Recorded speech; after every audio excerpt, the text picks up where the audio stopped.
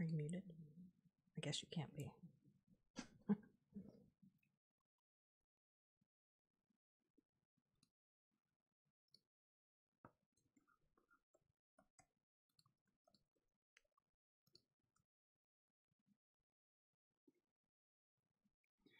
You guys let me know when you can hear me.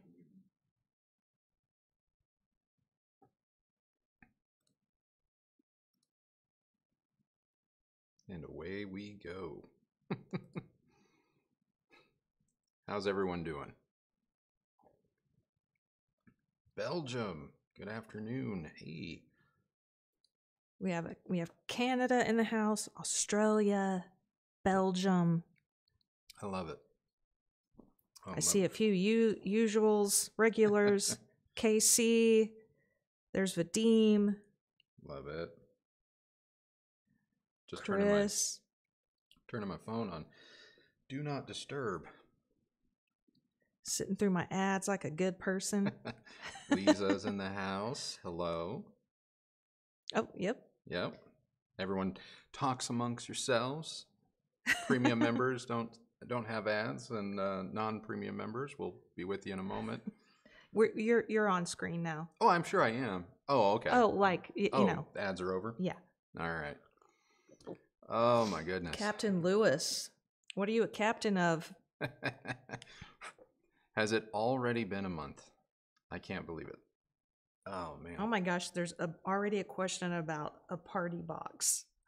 A party box. Yeah, remember you were talking a party speaker? You know how you were talking about that the other day? You and I were. Yes. Oh. Yeah. Someone asked Edgar Uh huh. asked, "How It's- about reviewing JBL's party boxes?" Ah, how about reviewing JBL's party boxes? Well, which JBL? Okay, which JBL do we have? We we just not just we've had it for. Wow, we've had it shouldn't forever. admit to how long we've had it. No, the heritage, the heritage. Uh, um, it could. It looks. A, Bluetooth. it, It looks, looks like, a Klipsch the three well, it's like size wise. it's bigger than the three. It's bigger than the three, but it has the grill of the L100 Classic, but in black. Ours is black. Um, we've had that. It's a it's a nice little thud muffin, is what it is. Um, it puts out bass, man. So I guess if that's where the party's at, um, I don't know if we're gonna. I don't know if I'm gonna actually review it, um, just because for me it's somewhat of a niche thing. Like it's it doesn't quite fit into my lifestyle, but I guess if I was more of a kind of grab it and go, or maybe when our backyard or our side yard or our yard project is done, like maybe that's when that's a good use for it. Like put it by the you know the pool or something. I don't I don't know. Like right now, I don't have a specific need for it, and so it actually isn't getting used much. The other um, thing, though, people watching, the the tricky part is Mhm. trying to guess Mm. what you all are actually going to watch That's true too.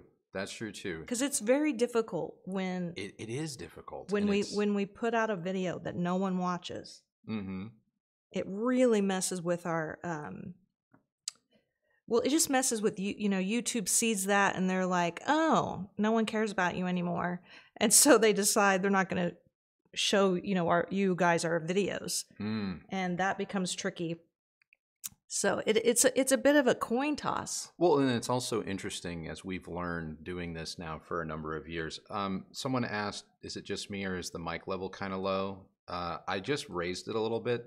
Uh, Hassan, Hassam, did that did that help it help you? Um, andrew will never not butcher someone's I, name I'm sorry. I'm sorry. I'm doing the best that I can. I'm from Nebraska. Leave me alone. the the most obscure name you would get is like Toby. Um, do you know that's what my parents were going to name me if i was a boy really? yes Oh, so I think I was. If I had been a girl, I Uh-huh. think I would have been Julie. oh I think that's how the story goes. I don't. I don't remember. It's not important. Um, what we were saying. Uh, what were we talking? Oh, right. Having done this for a couple of years now, there's like three tier. There's. I don't, I don't want to call them tiers, but there's like three buckets that videos can kind of fall into. There is the bucket that appeals to the dyed in the wool true viewers, you know, the fans watching this. Like you're going to tune in kind of no matter what. And you tune in because you just like hearing what Kristi and I have to say about darn near anything. And we love you for that. Yes, we do. We, you, right there. Um, then there's the crew that's like the group that's like, okay, we do like your channel, and we do think we do think that you're good most of the time. But if you don't stay in like a certain lane of hi-fi or home theater, we may skip a video or two. That's also that's great. That's still good. You know, no problem. It's not as good. And then there is the third bucket, which is people that have never seen this channel before and who may only come and watch one or two videos because they are like right there on the market for say a Samsung soundbar and they only watch YouTube videos uh, when they need something. And the one thing is, the interesting thing is, is that if you quote want to grow your channel or you want to grow as a channel, like you hit that third group as hard as you can because you'll probably get the sort of like, I guess I'll subscribe click, you know what I mean? Or the watch because you're talking about things like, say, a Bluetooth party speaker or a sound bar or Mhm. things that are like more readily available in a Target or a Walmart or a Best Buy or whatever. And that's great. The, the problem is, is like, like I said, that person's not so much a return viewer and they don't watch as long. They're not as engaged. They don't leave comments. We don't get to know them. And so, but as a as a creator, you have to juggle all three groups, um, and you have to make something for everyone if you want to be ultimately if you want to be successful or have longevity.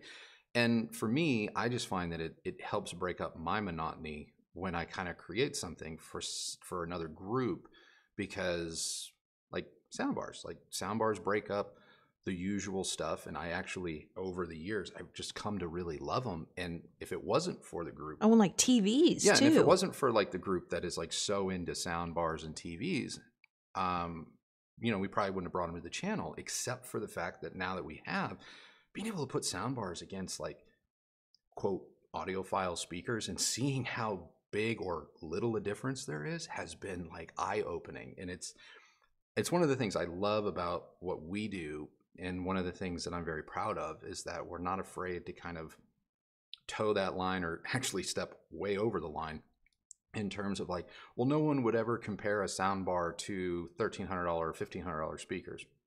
Yeah, well, it doesn't mean they wouldn't like someone else to, you know, doesn't mean that people aren't curious. And that's one of the things that I just, I love. I love. Okay. Hey, before we get started, Yeah. I don't know if everyone saw the poll that I Mm. posted. That was actually me. Like, there's a lot of times where you're actually talking to me, Yeah. but it has Andrew's face. oh, you just let the biggest secret. You'd be surprised at how much I respond as as Andrew. Uh, but you know, YouTube is silly. They won't like they even though I have like a little moderator um sig- signifier. Sometimes Yeah. like it doesn't have me associated with the channel. It's Yeah, kind of silly. yeah, I don't know. I don't Any anyway, uh, I digress. Poll. Uh, I I posted the poll on the on the announcement for the live show Mhm. about how often do you go see live music, and I need to go refresh it. Oh crap, where'd it go? We're live. Okay, hold on. Two seconds, folks. Two seconds. Okay, so surprisingly or not surprisingly, hmm oh now it's not going to load. Oh, I swear to goodness. It's And- literally not loading for me. and we're live. All right. I can't I I can't I can't Well, we'll we'll we'll, we'll come back to you. well, okay. We'll come back to you because I am already 900 years behind. Oh wait, I got it. I got it. All I got it. So, there was a tie. Okay. 35% said they never attend live shows. And then 35% said they'd go about to go to a live show about once to twice a year. Okay.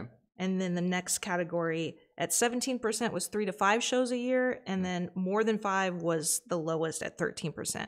Mm. And a lot of people were saying that they don't go as they don't go anymore either because no one is coming Mm. that they want to see or they don't like the crowds anymore and people don't know how to behave at a live at a show. I, I'll go with the latter. I'll go with the latter because I mean I'll travel if I if I really want to see somebody, um, but I totally can relate to the whole people don't know how to watch anything anymore, and I mean anything. It concerts are particularly, excuse me, um, concerts are particularly awful, but even sporting events can be absolute trash. Um, and depending on who might be over at your house, just trying to enjoy a movie in your living room with friends can sometimes be intolerable. So uh, I get it. But that's not what we're talking about. We're talking I about know, live shows. Live shows, but I'm just saying, like I, I've seen some great live shows, but I, I've seen some great bands perform live, but I wouldn't say that the show going experience was good. Like we, we, I, I can recall seeing Middle Kids with you a couple of times, and I love them. We're gonna go see them again this year. I love them. They're a great band, and they do a great job, but their crowd is awful. Like it's just, it's it's just a bunch of, you know, uh, what you know that kind of thing. I thing. think that was Austin. I I know we don't go as often in our new place because frankly the live the live the music live venues here suck. are terrible. Yeah, Um, no, we're not going to tell you where we live. That's private.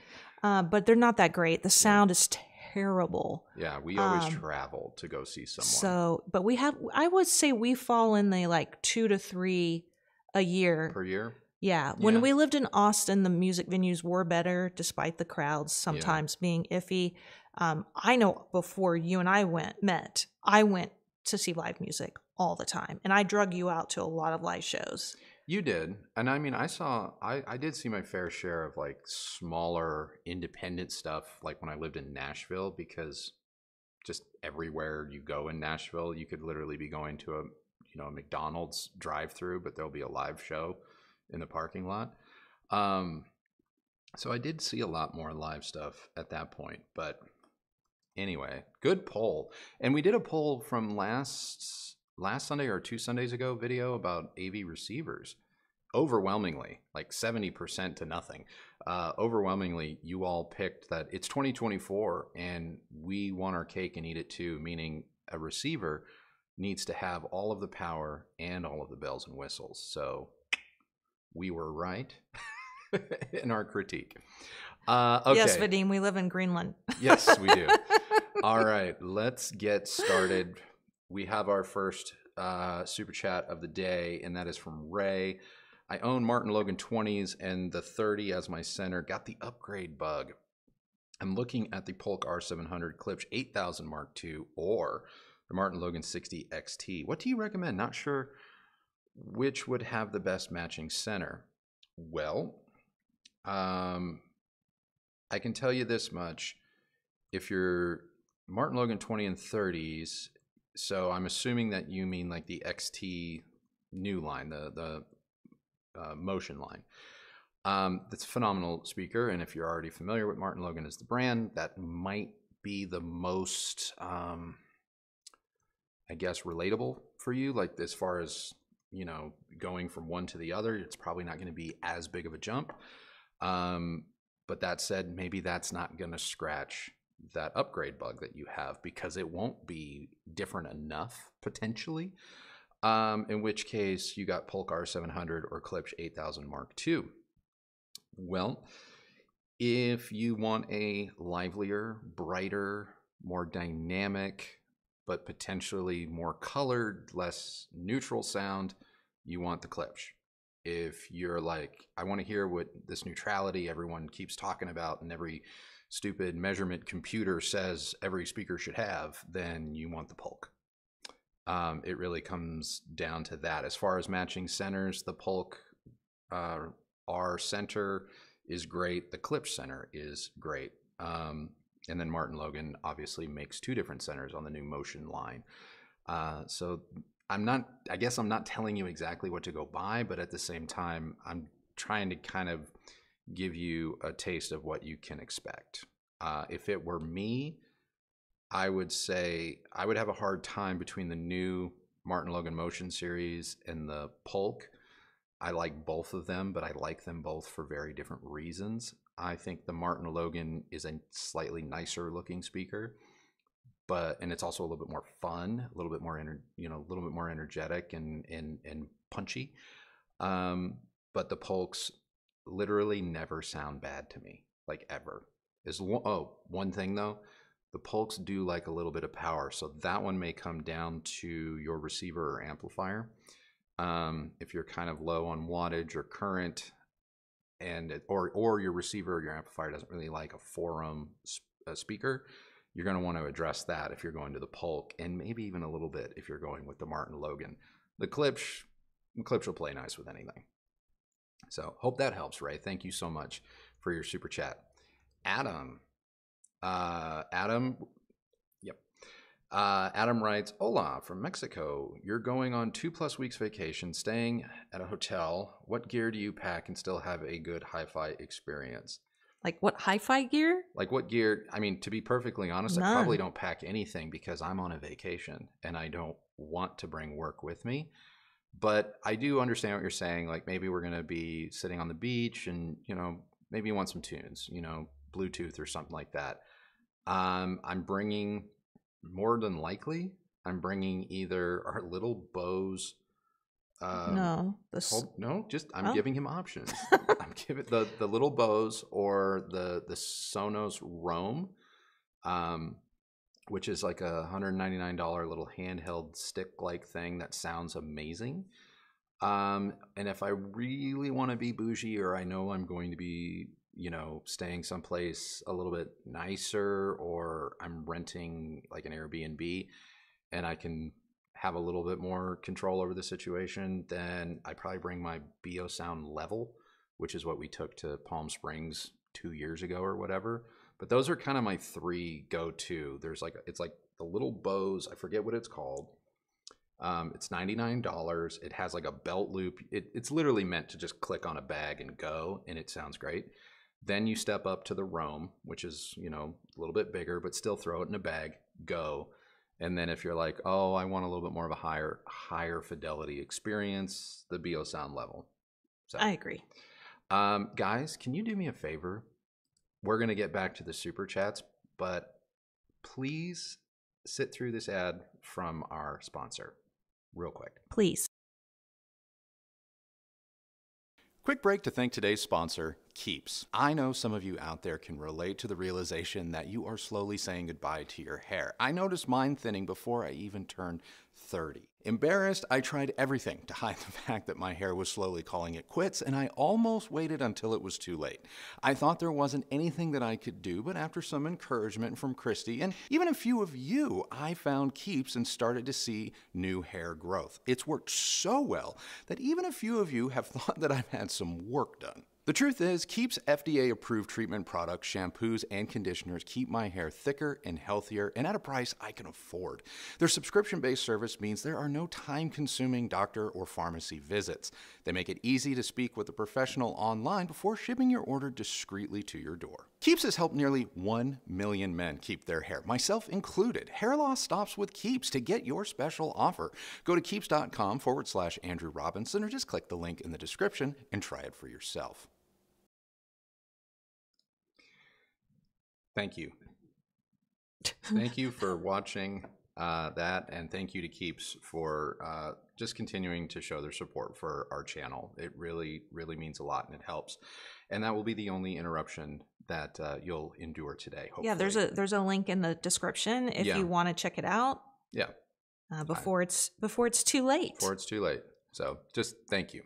Now let's get back to you guys. So Filbert writes, uh, I can't join live, but wanted to say, with all the respect I can give to Kristi, I bought myself a pair of Focal Kanta number twos last year. They match great with my Marantz Cinema 40, and I love them. Keep up the great work, you two. That's awesome. That is all that matters is that you love what you have. Yeah, and thank you so much for sharing your super chat with us, even though you couldn't be here. Hopefully, You'll watch the replay. hopefully you're watching um, Yeah. at some point. Yeah. And if so, hello. Chandler just became a member. Welcome. Appreciate that. Oh, KC, uh, I believe, dished out a bunch of memberships Oh, boy. I'll- I'll- because KC is amazing. yeah. Uh, looking to upgrade. Oh wait, one Whoa, one oh, second. Ever people are still saying your volume is low. My volume is yes. low. Maybe it's just because my mic is closer. Yeah. So the way, uh, let's see. Okay, I'm gonna get up. I'm gonna fix something. I'm gonna hit mute. I'm hitting mute so no one has to. Just bear.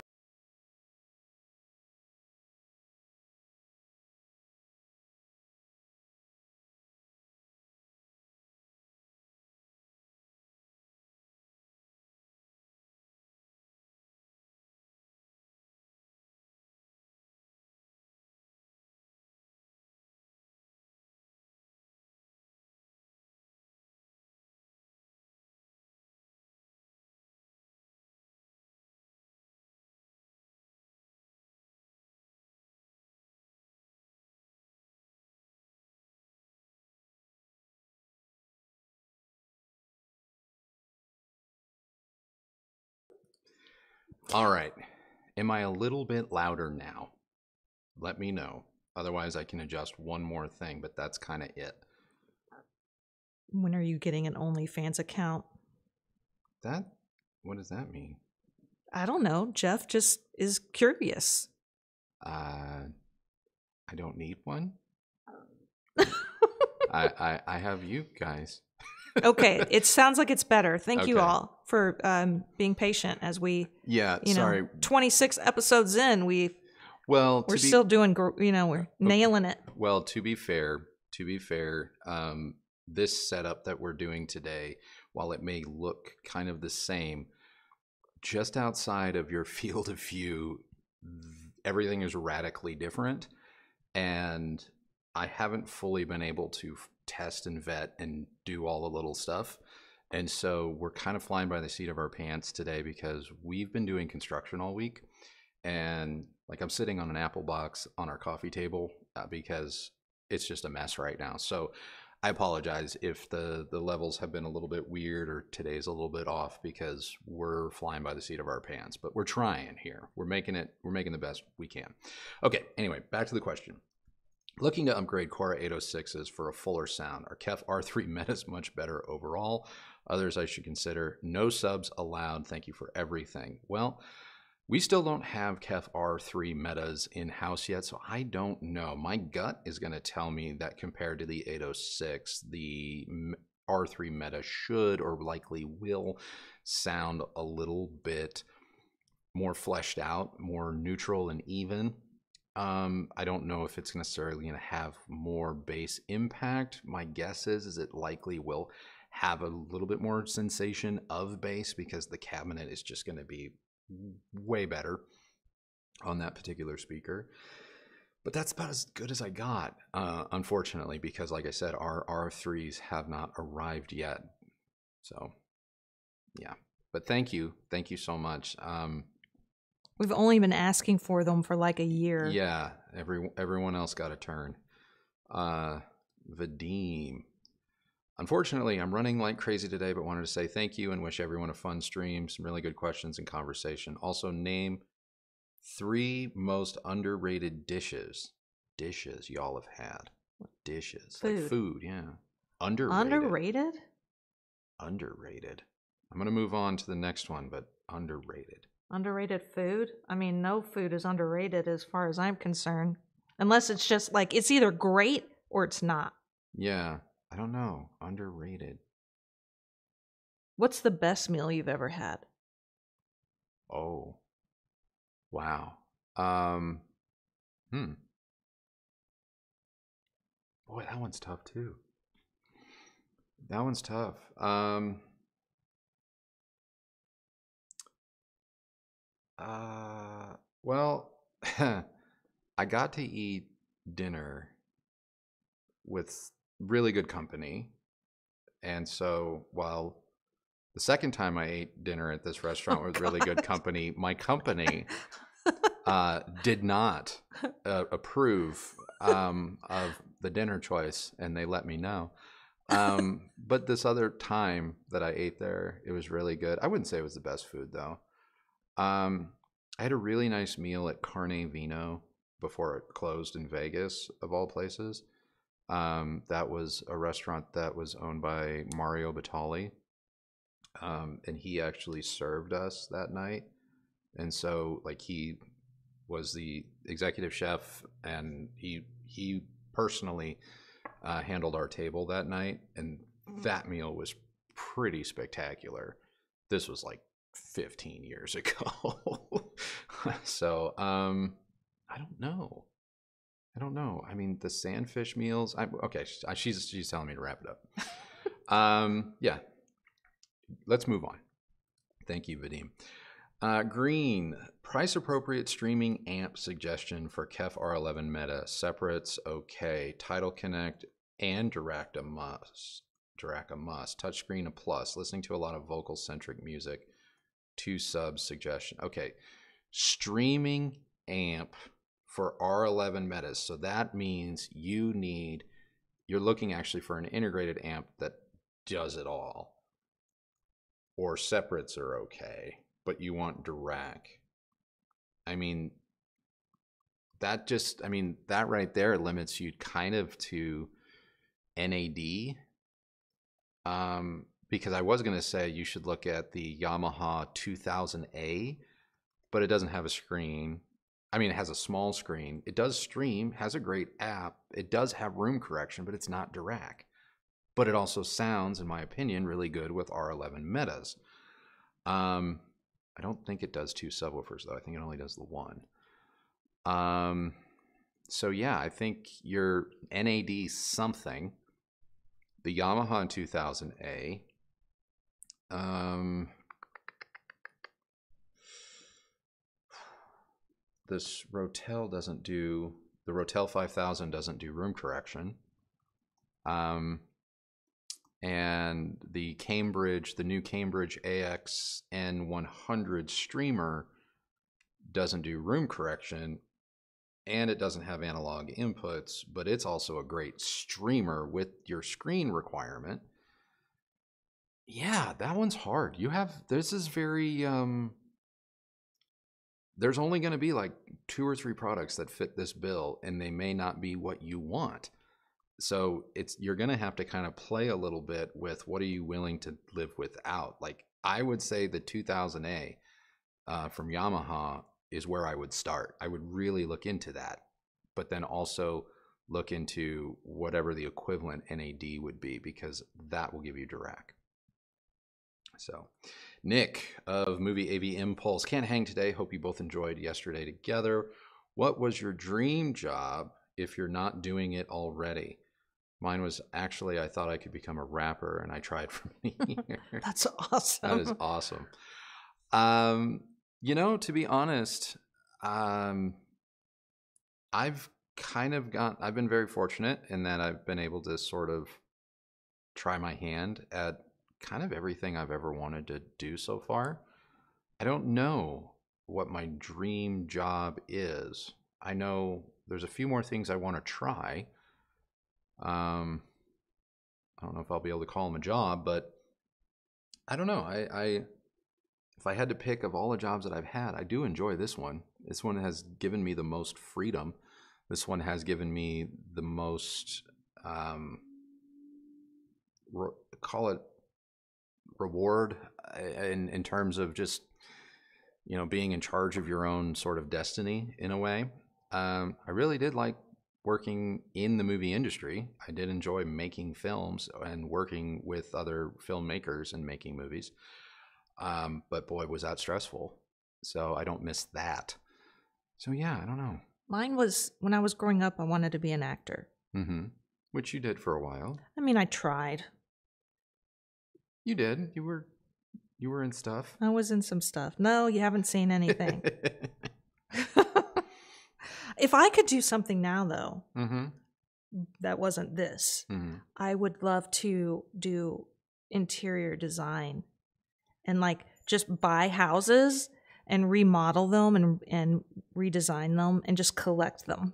I would um I would I'm going to work really really hard to become just stupid wealthy so that I can watch you do it one time because m- watching her make a decision she's Oh. going to we'll buy we'll buy a house and we'll film it. We'll, all right, this is what we're going to do. We're going to buy a house, we're going to film it. She's going to be sitting in this empty box that hasn't been touched for like 30 years and you're going to tune in week after week as she just tries to pick the flooring.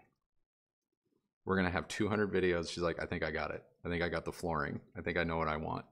Then they're going to lay it in. She's going to see it on 300 square feet and go, Now don't be mad, but I hate this I floor. hate, hate everything.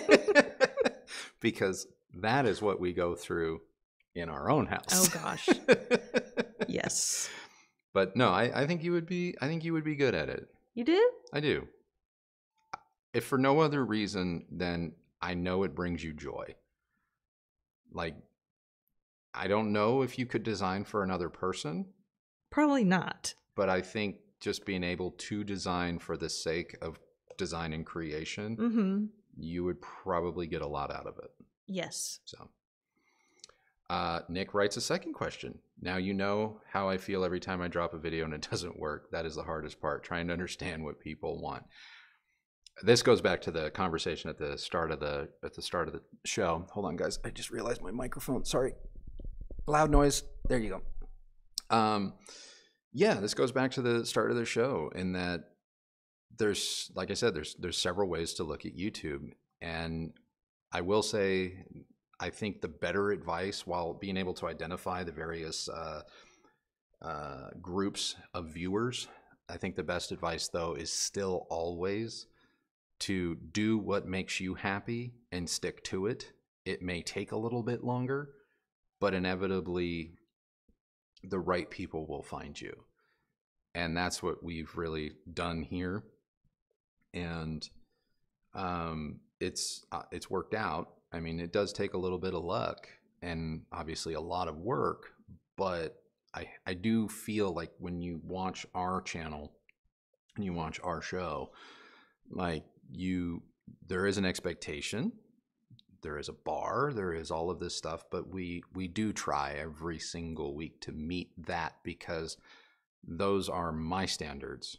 And then I just hope that you know over time like you've come to expect certain things from us. And that's that's what i'm saying it's like don't don't try and tra- chase what their what trends are. Don't try and chase what you think might work because there's been plenty of times where everything on google trends everything in the youtube sphere is telling you you should make this video and we've done it maybe once or twice and it never works.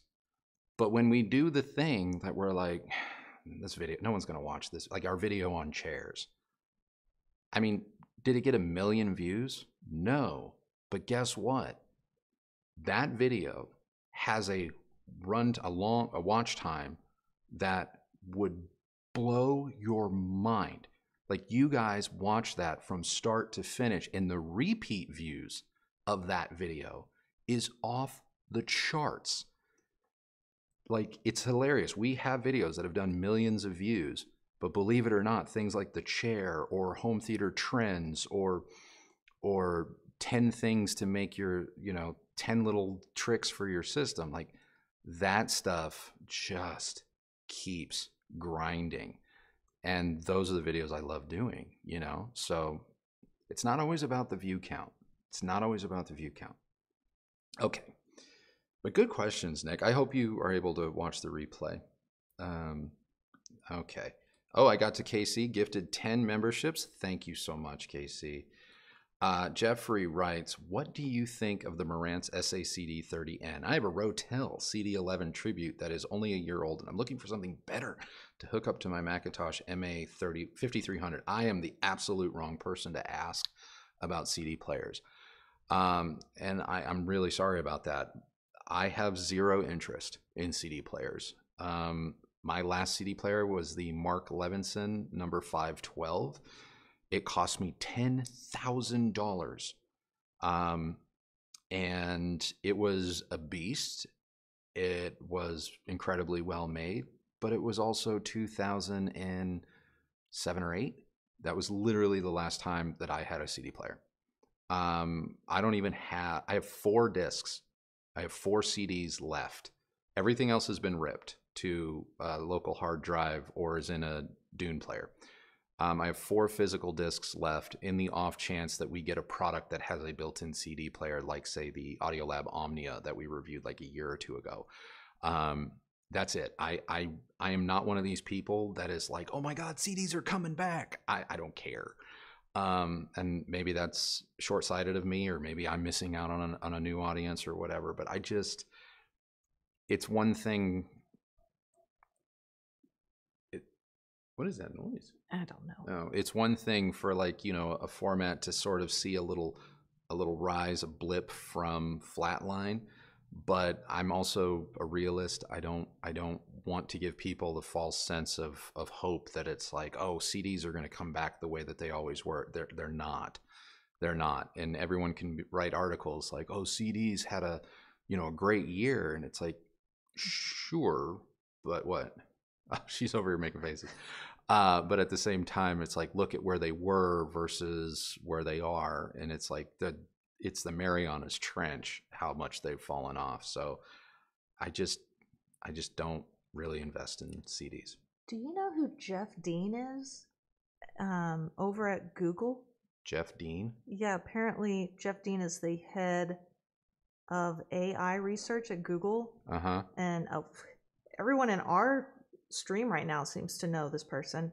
And I, I guess he mentioned us. He mentioned our channel. Say what? Yeah. A lot of people are like, "Oh, I came." Jeff Dean mentioned your. I don't know what happened. Yeah, like uh, is he mentioning it like right now? Is I this... think he had a stream. I got to go back up and okay. Someone fill me in, Austin. Yeah, fill, fill Kristi in because I still have to get to your questions. Uh, Jeff is a cool guy. Jeff is Austin. I mean, awesome.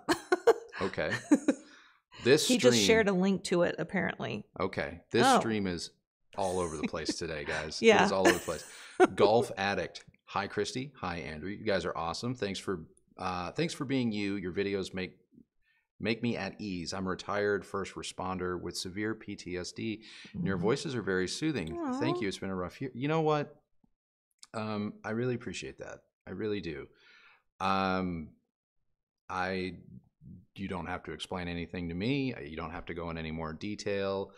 I'm glad that if if we're a, a distraction or calming presence for you. I'm so grateful for that. I love that. I'm so grateful as someone that has worked with uh, people with PTSD, as someone who has been diagnosed with it themselves. Uh, I I can relate to good times and bad, and so I really appreciate that. And I hope it's still early; it's February, but I hope the rest of this year is better than the first start. It's a marathon, not a sprint. So I, I think there's time where everything can get better. But thank you. I, I really appreciate that. And we will continue to be here for you uh, as long as we can. Yeah, don't be so a stranger. Don't be a stranger. Um, and if there is anything anything that you know within you know reason i'm just a dude on a silly webcam um, but if you know if you have instagram or whatever feel free to dm me and we can chat.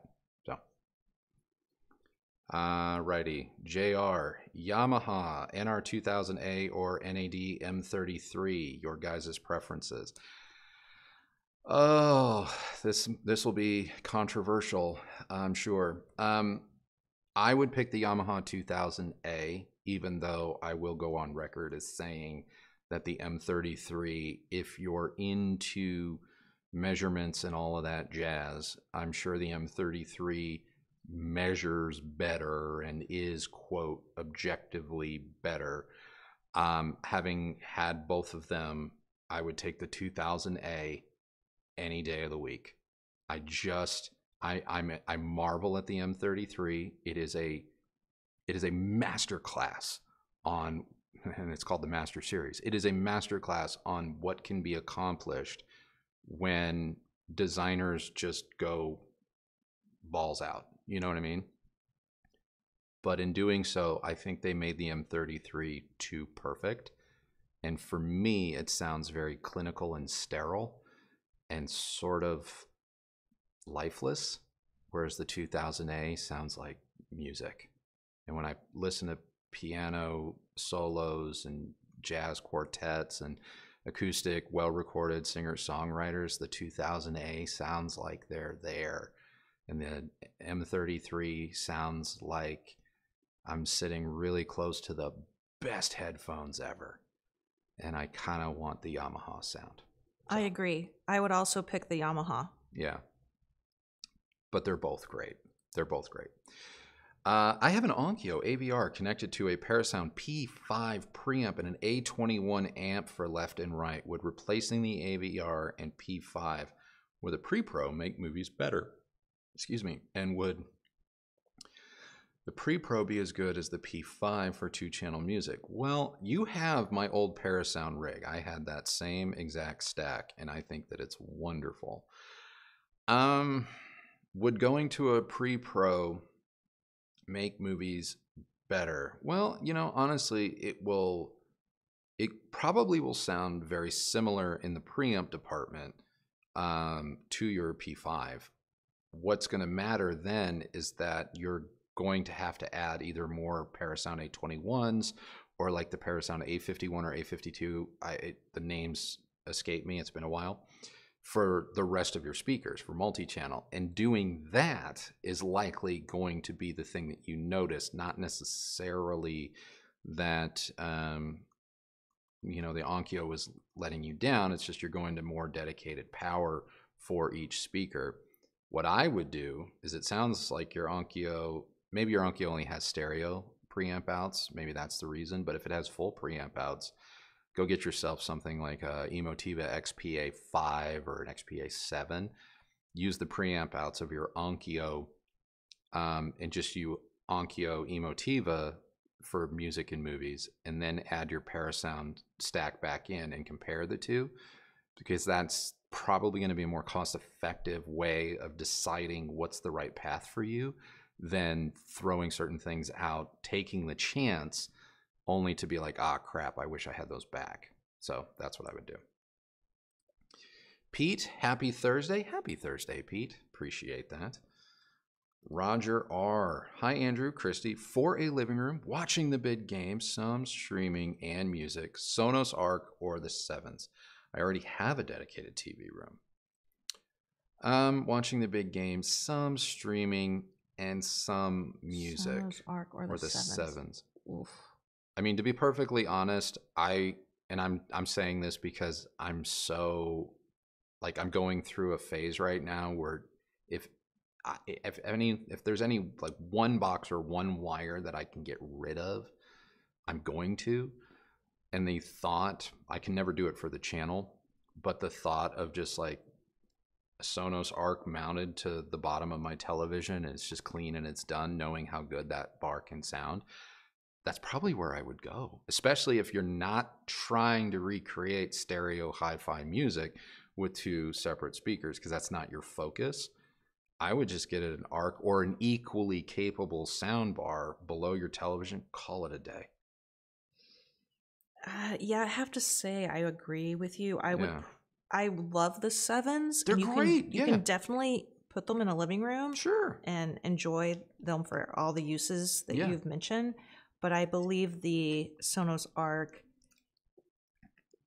will just give you a little bit more um, across the board. Yeah, it's going to be a little bit more flexible. Yeah. and it's going to be tidier.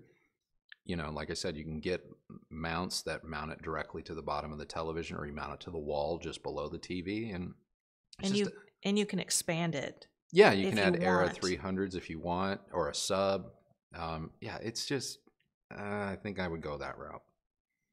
think I would go that route. Uh, okay, oops, it jumped on me. Not to fear, I'm I'm used to this.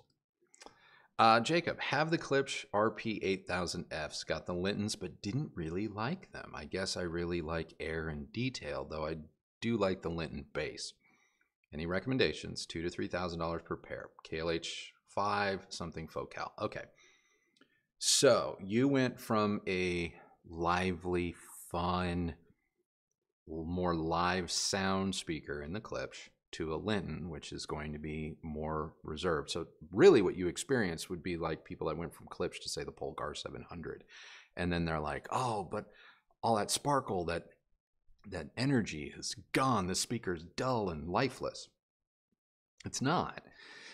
It's just that's the difference between a V-type curve, even though Klipsch has slowly been bending that curve a little bit more straight. It's still V compared to the Linton, which is going to be more like that Harman curve, right? And so that is usually the first thing that people are going to say is, is like, oh, I miss that air and all of that stuff. And it's like, it's not that it wasn't there in the Linton, it's just the Linton wasn't accentuating it. And so if you know you like the Klipsch sound, then the KLH 5s can be good, and they do have the treble attenuation and all of that on the back. They do require pretty substantial amplifier to really make that speaker sing. Um, I would look at the Martin Logan. Yeah, I was gonna say the Martin Logan, any of the motion, either the XT or just the regular, uh, the one step down from that.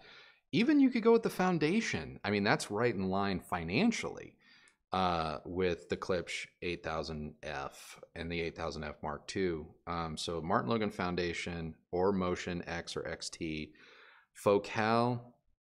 Um, you know, I don't know. I I mean, the, what's the least expensive Focal? Is it the Theva or is it the Vestia? Which one is the cheap one? Well, there's the Theva, and then Yeah. there's the. It's called Vestia. I know which one is the cheap one because Oh. they're like a hundred dollars off, but the cheapest Focal entry level one I think it um, is better. Maybe it's. I don't know. Honestly, Exactly. their names are so dumb. Right. The cheapest entry level Focal series is the better one. Um, although we just took delivery of a higher end Focal that we'll be bringing you. Um, but yeah, maybe Martin Logan. I don't think the KLH, especially if you were already in the Linton camp, I'm not sure that that's the right thing. You know what? Someone left a well, not like it's the first time I've seen this, but Mhm. um, someone recently left a comment on our Linton review. I wonder if it was you, Jacob, that said that they were muffled sounding, and so they were sending them back or selling them. Mhm. And I've had, I've seen people leave comments like that, and I'm like, what are you talking about? Look, if you're coming from something like again, if you're coming from something like a Klipsch and you go to a a, a Wharfedale or you go to um, like a Kef or um, a Polk, you're probably going to think that it sounds veiled and muffled because you used to have these types of opinions. You would be like, oh, it just doesn't, it feels slow. Like it feels slow because when you take that rise out of the tweeter, it your brain needs time to readjust. You know, Well, sure, but there's a difference when with something not having like a quickness to it, to sounding muffled and Well, it can also just be how the person set it up in their room too. Like you may have an overly dampened room, in which case a bright speaker is going to overcome, say, thick carpet, plushy furniture, you know, stuff like that. But if you're in a reflective room, a bright room, and you have a bright speaker, you're going to look at someone like myself and go, Sonus Faber hurts my ears. And I'm like, Sonus Faber is music to my ears. Mhm. Um, and so it you there is a little bit of of give and take with this kind of stuff. Um, which is why at the end of the day, so many people really lean on, well, you want the most neutral speaker because it's going to play nice in the widest variety of rooms. And that is that is largely true, except that doesn't necessarily mean that that's what the listener is ultimately going to always want. And so we get to play this cat and mouse game, this balancing act sort of a thing. man, speaking of the Sonus Fabers, Mm-hmm. we were we were uh, we oh guys, new show alert. There's this new. There's this new. My favorite thing to do is watch shows. hmm That's it's called the New Look. Yeah, about uh, Dior and Chanel. Yeah, it's, the it's war. yeah, it's the history of World War II when the Nazis invaded Germany and Uh, or sorry, invaded uh, sorry, Paris, France, and yes, it was how Dior and other designers Survived. survived and like what they were willing to do in terms Mm-hmm. of their creation. It's super interesting so far. hmm This this the soundtrack is excellent, and we were watching this on our Lumina twos and the Rotel Five thousand. 5000 last night and I was like, "Damn, these are good." Like every time we hook those up, The they're Lumina twos. so good. The Lumina twos. I mean, they're they're an embarrassment of riches. They're an absolute embarrassment of riches. They're some of my favorite thousand ish dollar bookshelf speakers that I've ever heard, ever. they're amazing. It's called The New Look. The new look. The yeah. New Look, Lisa.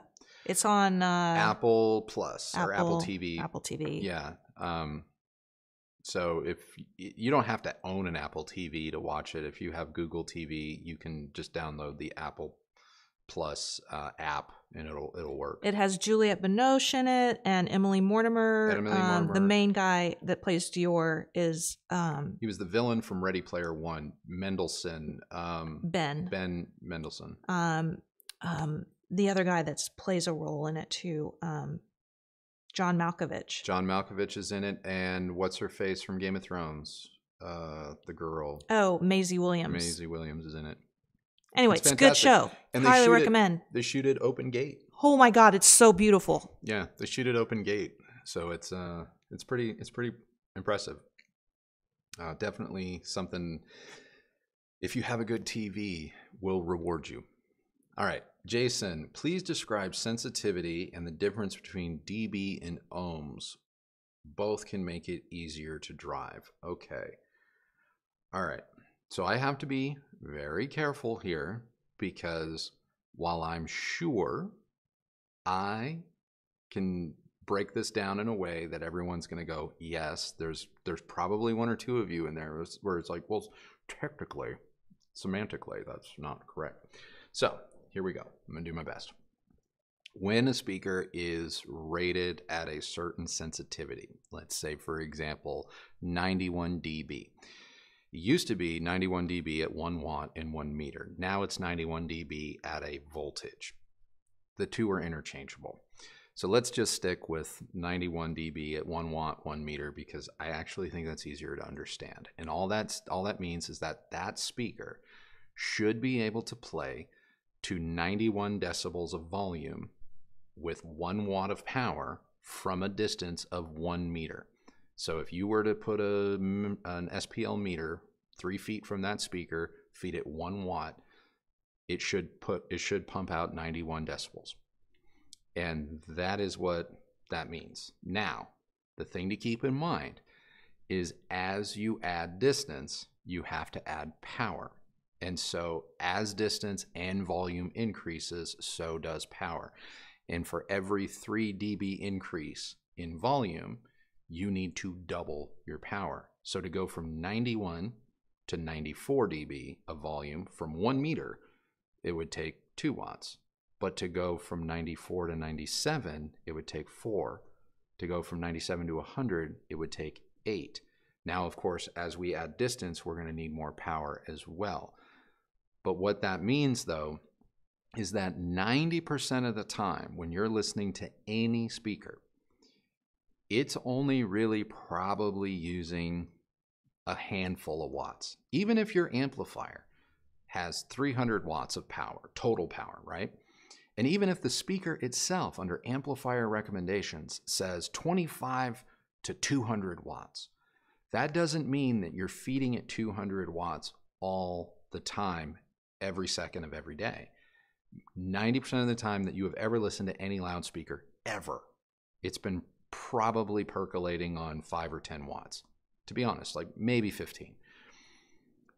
Why you need a beefy amplifier is to go from the tone of my speaking voice right now that you're listening to is probably in the vicinity of 40 to 50 dB.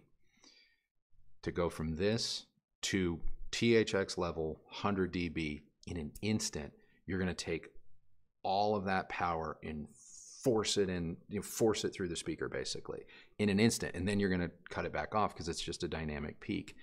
If you don't have the power to make that peak happen, then the speaker clips and damage can occur if this keeps happening. And so this is why like more sensitive speakers, speakers 89, 90, 91, 92 tend to be a little bit more engaging, tend to maybe be a little bit more responsive when using lower power or less lesser amplifiers, but it doesn't mean that they still don't need quality amplification. Now, ohms is resistance. Like how much resistance is the the the speaker giving the amplifier? And I always say that as the ohms go down, something becomes difficult, more difficult to drive. And I know some people, audiophiles especially, do not like when people say a four ohm load is easier to drive because in reality, it's less resistance. However, it becomes harder. Look at it. Uh, someone explained it to me. Someone much smarter than me explained it to me this way. When you're driving on ice, the tires have less resistance, but they also have less traction, and it's easier to go like this. So you have to you have to exert more control. You know, Whereas when you're on a dry road, let's talk about eight ohms or whatever, maybe it's a little bit easier, but it takes, you know, you're you're not spinning your wheels as much. I I mean, I get that analogy. I do. I just go with as you drop in the ohms department, you need a little bit more capable amp, an amp that can deal with that resistance, an amp that can deal with that load. Um, and that usually comes at a cost, usually comes at you know, a lot of different things. So you can still have a, I mean, there's a ton of really great speakers that are four ohm speakers that are like 91 dB efficient. And I would just say you need to really make sure that you have an amplifier that likes four ohms. For example, my Audiolab 8300 XP stereo amplifier. That is stable as an amplifier down to two ohms. So four ohms is right in its wheelhouse you know you're not really taxing it um, but like other amplifiers that i've had in the past they don't like to go much below four and so if you have a speaker that maybe dips down into like 3.4 range it's going to do it. You don't have to worry about it. But you may notice with those types of speakers an amplifier like the Audio Lab, in certain situations like why does this sound so much better, so much more confident compared to maybe an amplifier that has twice the power. Like the 80, the 8300 is only like 100 watts per channel or 120 watts per channel, but I'll be damned if it doesn't often sound more powerful than a 300 watt amplifier. And you run into this with like the Yamaha 2000A. I think that was only 90 or 100 watts per channel, but it sounds more confident and and and and sure of itself no matter what speaker you're you're using, um, compared to say some 200 and 300 watt amplifiers that that's a weird noise that you know don't like anything too close to four ohms. So that's how I would uh, that's how I would try and explain that. Hope that helps. And I'm sure Kristi's already getting people going. No, that was wrong. Actually, I don't think so. okay. Uh, next question. Hello, love your videos. Do decent surround sound headphones exist for watching Atmos movies at night? I surround sound headphones. I oof. I mean, I've heard some spatial audio demos on just normal headphones, and it's kind of it's a neat effect. I wouldn't say it's surround sound; it's more just phase effects. But I honestly, I don't know. Um, I don't know. There was some device eons ago that I missed. I guess I sat. I did a demo of once and made a comment of, and someone really didn't like that I made a comment about it. Um, remember that guy that what? was The headphone, we got an email a couple weeks ago. Uh, I I sat for a headphone demo like a decade ago with the guy that was doing like spatial mapping with headphones, and he put it on Kickstarter, and they used my pull quote or they used a quote Oh, for me yeah. without my permission to sell this thing. Um, I'd forgotten that I was even that I even demoed this thing. Um, where are you going? Oh. Bless you. Oh you- my Can you do me a favor? Yeah. That window's open in the hallway. Oh. Can you close that? Um, anyway, I don't know of any. Um, I don't know of any surround sound headphones. I'm not the the the premier headphone guy, unfortunately. Yeah, that, that guy was upset because he never got his product and he didn't get he couldn't get his money back. And so the email was like, "Are you is this a scam or yeah, did were I you help? were Did you I help scams scam people? And I'm and we had to like Google it and all that. And I was like, holy crap! This whole company was like using a pull quote from literally like a 30 second, four, you know, 30 second demo, like at like a show. Like here, put these on. And I was like, oh wow, that's kind of cool. And you know, Andrew Robinson. Oh wow, that's kind of cool. And they went to Kickstarter with it. Apparently, raised a bunch of money and then didn't deliver anything. And Well, I- well the I had no idea this was happening.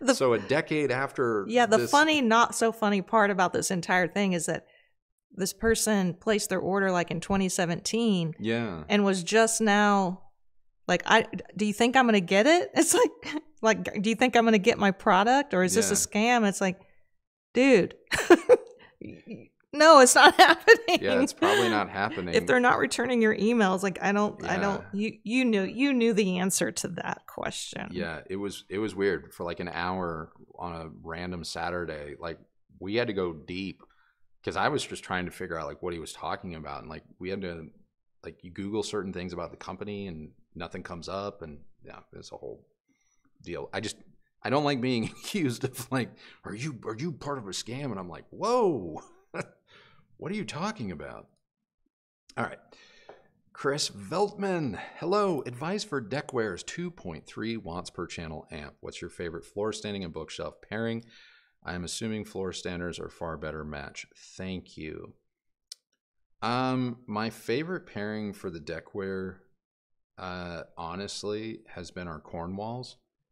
Um, I really like the Cornwalls with uh, the Decware, but I also really like the Cornwalls with the Decware when I have my mini DSP SHD acting as a preamp in front of it that lets me do all of the uh, room EQ that I like. That's a match made in heaven, um, and it's pretty great. Um, bookshelf wise, you know, I really enjoyed the Decware on. I mean, the Decware to me just sounds good with everything, so long as you have a reasonable expectation. Katie had to shake off a reasonable expectation of the volume output. Um, so as long as you know you're not going to shake the foundations, you can pair two watts with darn near anything. Um, I remember putting my Decware on some Tekton speakers once. I thought that was pretty good. Um, Klipsch is good. I've even liked the Decware with my older Paradigm Signature S2s and S8s. Again, just so long as I kept my expectations of like, okay, I'm not going to get to 100 dB peaks. As long as I kept that in check, I, I thought it did really well. So, um, Jose, it seems to me that the they okay seems to me that the object audio battle went to Dolby Atmos. What do you think would be the next thing codec format for Dolby and DTS? Um, I think they're just going to continue to push the envelope with respect to probably real time room mapping and room equalization. I think that's really the next frontier is taking existing sound, but then really using like active, active um, methods of. And Sony was playing with this a little bit on their latest TVs. We didn't really get into it in our reviews, but because I know it's kind of a touchy subject as far as like, oh, I don't want my TV or my receiver or anything watching me. And I get it, I do. But I think we're going to have to probably lean into that a little bit um, as a collective we, not just like a channel, but collective we, because what that's enabling your television or the receiver or a speaker or something to quote see you um, enables them to have a clearer picture of where you are in the three dimensional space based on the information it gathered when it did its sound field testing. And it can then tailor the sound mix kind of to where you are. Bang & Olufsen has been doing this with beam steering and, and stuff like that um, for a number of years. And I just think that that mixed with surround sound processing like Atmos is where the next frontier lies. So. Uh, da, da, da, Bodie McBoatface. What's the best way to approach bass management in two channel setups? Mm, easiest way possible. I'm the kind of the guy of path of least resistance. If I know I need to use a sub, uh, I always kind of I personally don't like controls on subwoofers. Um, you need them. I would never design a sub without physical controls because not everyone has bass management in their AVR or preamp or whatever. Um, I just I don't like them because they're never really accessible. So I'm a big fan of all the subs that do it on an app as well. Um, but I tend to really like to keep all of my adjustments in one spot. So if the preamp or AVR or processor has bass management, I set all of the stuff on the subwoofer accordingly and then just do everything in one one spot hopefully with a remote. So that's that's how I handle it, but then again, I'm also kind of a stickler in that I'm not going to actively go out and seek out two channel products that don't have modern features. Like I know there's this whole camp of hi-fi where it's like no no it's an all analog preamp. It doesn't do anything like that because reasons. That's never appealed to me. Um, you know, and so in those instances, you know, like uh, where it's just like maybe you have two sets of preamp outs, and so that you can use the second set for a subwoofer and another set for a separate amplifier. Um, then you're doing it all on the back of a subwoofer. Or in my case, I'd be running it into a mini DSP 2x4 or SHD and doing EQ and doing all the bass management inside of um, mini DSP. That's just me. Um, let's see, where did I leave off? Here we go. Uh, Craig, is there a $500 home theater receiver you would recommend? I think the Sony AN1000 is close to 500 bucks. I think it's close. I think it's like six. Um, that's a good one. I think the Onkyo 5100 is also close to 500. It might be 599. That's an insane one because, yeah, that one's great. Pioneer 305, I think, is again, it's not 500 bucks the Yamaha A4A might be like $550, and that is also a good receiver. So look at those four, see which one works for you. Okay. Bodie McBoatface is back. Can you recommend songs to experience a wide soundstage? My top genres are jazz, classic rock, movie scores, and acoustic strings. I listen for soundstage, like really want to play with it. I listen to a lot of electronica um, because they can put sounds wherever they want. And since most of them are largely synthesized, synthetic, or sampled, they get really creative. Um, two lanes may not be everyone's cup of tea. Uh, Anima may not be everyone's cup of tea, but boy, they sure do play with three dimensional sound out of two speakers. Um, drifting by two lanes if your speakers have good dispersion and your room doesn't collapse a soundstage, oh man, you're you're gonna hear you're gonna hear stuff near your ceiling. Um, Anima, various tracks. I don't know which ones off the top of my head. Um, again, same kind of thing. It'll go way back. It'll go high. It'll go side, damn near around you. It's uh, pretty impressive. Uh, just upgraded my vintage stereo to a Marantz Model 140 3200 preamp and had my ah moment. What was your first stereo you thought this is it? Um, I mean, I, I have to admit, I had a lot of fun with like my very first like hi-fi home theater setup was JBL G400s um, with the matching center and a Yamaha Dolby ProLogic surround receiver. Um, I remember getting hearing sounds out of that that I was, you know, I, I had a lot of fun. My friend's Bang & Olufsen system, though, which he bought around the same time, uh, I had to slum it at Best Buy. He got to go to Bang & Olufsen. Um, his system was probably the first time that I ever sat in utter awe and went, "Whoa, that is that's a magic trick." That's what that is. That's a magic trick. So the next thing that I got after my JBLs that came close, probably Paradigm Mini Monitor V2s with a Rotel integrated, I was like, oh, wow, what a step up. Like clarity, dimension, separation, soundstage. Wow.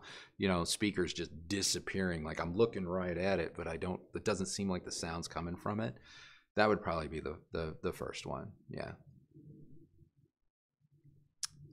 Uh, Chris Feldman, what's your most prized vinyl record? Um, have a record that was given to me by the late great, um, a late great friend of mine. Uh, what is it called? It is the greatest jazz concert ever, and it was given to me by Michael Gottlieb.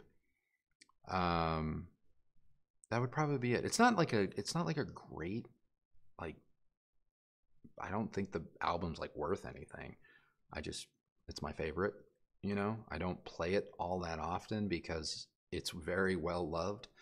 Um, but yeah, and I have an original. I have an original pressing of uh, Nirvana's Unplugged, MTV Unplugged, the original pressing. And my dog ate a corner. Not Katie, another dog that I had. Um, whole other life. Uh, ate the corner of the sleeve, so it's definitely not worth anything. Record was fine, but I also really uh, pride have pride in that record. That's probably that's probably it. Those two. Mr. J, thank you so much for your support. Uh, speaking of Sonus Faber, any experience with the Sonetto 3?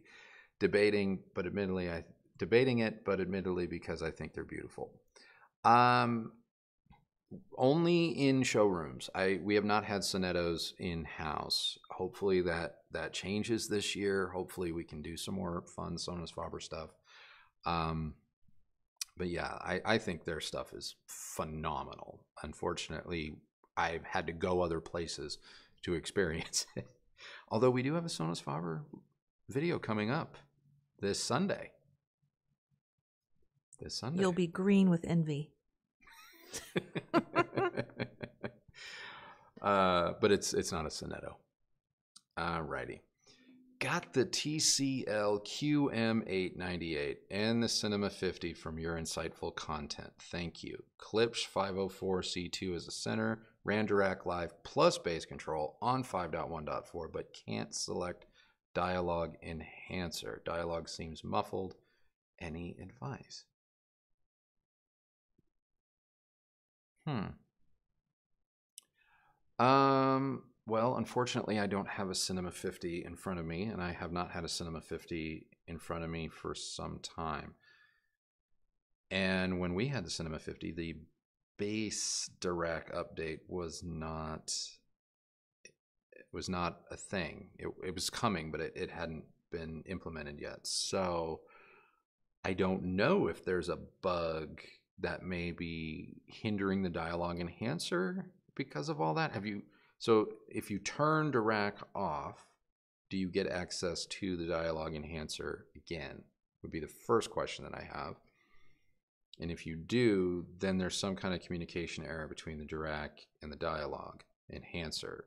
And if you want to run Dirac and have the bass control, knowing that dialogue enhancement goes off, then what I would do is probably look at the Dirac curves for your center speaker, maybe bump up or kind of put a, an anchor point uh, between one and two kilohertz, or starting at one kilohertz. And if it rolled it off too much, maybe bring it back more to a straight line or level.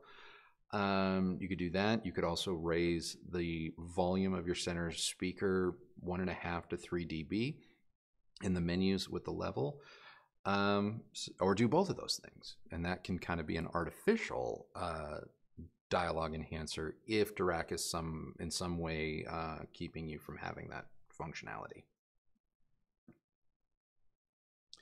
Bodie McBoatface, will we see any more Room EQ Wizard videos? Um, maybe. Nothing on deck. Nothing in the immediate present or future. Um, maybe it's always something that I'm playing with. I use it almost every day for one one reason or another. So if something strikes my fancy, like maybe. Probably not. Kristi coming in with the Yeah, the truth bomb. Like truth bomb. I think the last one we did.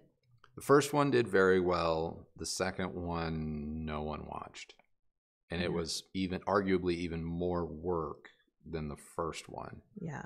Um, to do those kind of right and to kind of break them down in ways that make them less scary and approachable. I mean, it's it's a lot. It's a lot of work.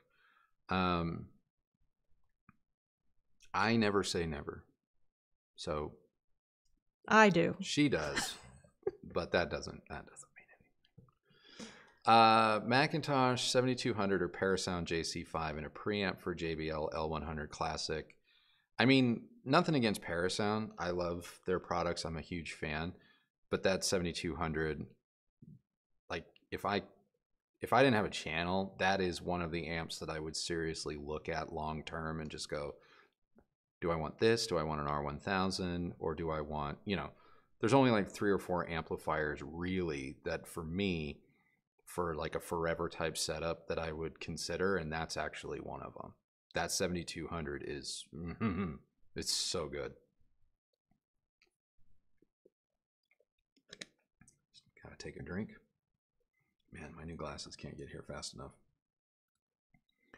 Uh, bookshelf speakers that have very clear voices, a little bit of meat in the voices, punchy, clean bass, and is not fatiguing in the highs. Is it still the Kef? Another recommendation. I mean, Kef, the Kef, Kef everything right now, in my humble opinion, they're kind of not, they can't go, they're not wrong. Like they're just nailing it. Um, but again, man, I think Sonus Faber also nails it. Is it a little bit more lively, a little bit brighter than Kef? Yeah, but it's not in a way that I find to be overly aggressive. And so I, if given the option right now in our house, like, oh, you know, you have five or six different pairs of speakers, like, but you can listen to whatever you want. I'm picking either our Sonus Fabers or I'm picking our Kefs because I just think they sound great no matter what. I also like Q Acoustics, um, although we haven't had a pair of their bookshelf speakers In a while, in a while. Um, but their towers, the Concept 50 is freaking great. yeah, they're not overly large. Mhm. So if you can accommodate that, I would definitely look at those. The the Concept 50s are some of my favorite speakers. Um, the 5040s are also very good. They're le- they're a little less expensive than the Concept 50, so you could potentially, you know, hmm check those out. Yeah. Hello, Kef R3 plus Audiolab 8300 XP. Five to 10 minutes of playing at 90 to 100 dB, and the speakers smell like burnt oil. Should I be concerned? Yeah, that's not normal.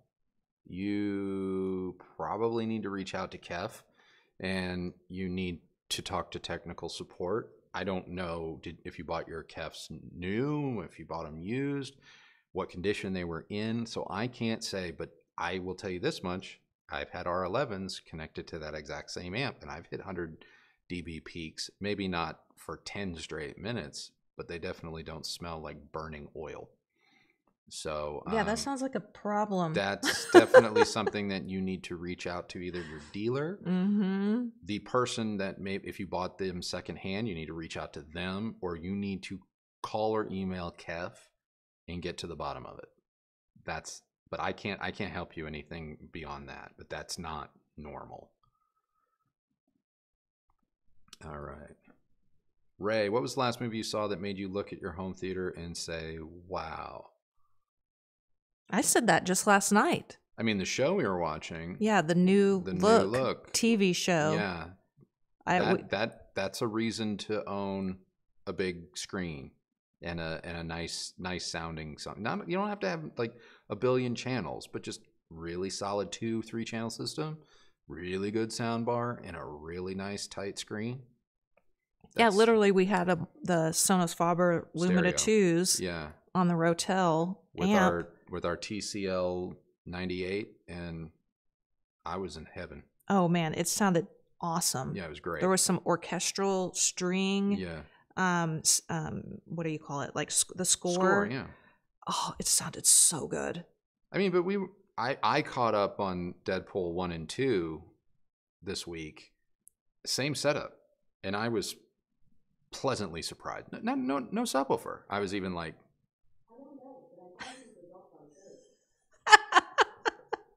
our Google, our our Google is kind of freaking out this week. I'm sorry, um, if anyone heard that. Uh, so yeah, Oh, yeah. Katie's back there. Oh, hi, Katie. you let's see, which way do I have to go? Oh, hold on. I'm gonna make this question raise question go away. And oh shoot. there she is. Katie, There she is. come closer. She's just standing there, uh, like looking. there she is. There she is. All right, go lay down. No, Daddy's working. Go lie down. All right. Um, here we go. I tried D and D. Okay, I tried D and D 8C smart powered speakers and was floored. The tech and sonic results they bring are biblically impressive. Hopefully, you review them one day. I'd love to hear your thoughts. Genelec. I have no idea what speaker you're referring to. Um, hmm. Yeah, I have no idea what speaker that is. I'm gonna have to Google that. Uh, Genelec makes great stuff. Dutch though. and Dutch. Dutch and I still don't know what that is. Yeah, gonna have to Google that. Uh, Genelec though, thumbs up for me. They make great stuff. And I appreciate it. I'm gonna thank you for giving me something to look into. Hey, the the chat that you took down when you were trying to show Yeah, Katie. yeah. Did you answer that? Yeah, the move like the show that we were just watching. Okay, I just wanted to make sure. Um, if I, I can go back to it and say that, to be honest with you, though, a lot of films that I've purchased recently should have I should have been wowed, like we like Napoleon.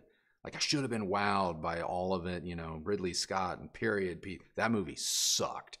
That movie was bad. It was not good. That was awful. The the prequel to uh, uh, Hunger Games. Whoa, Nelly, terrible. Um, yeah, just a rash of garbage.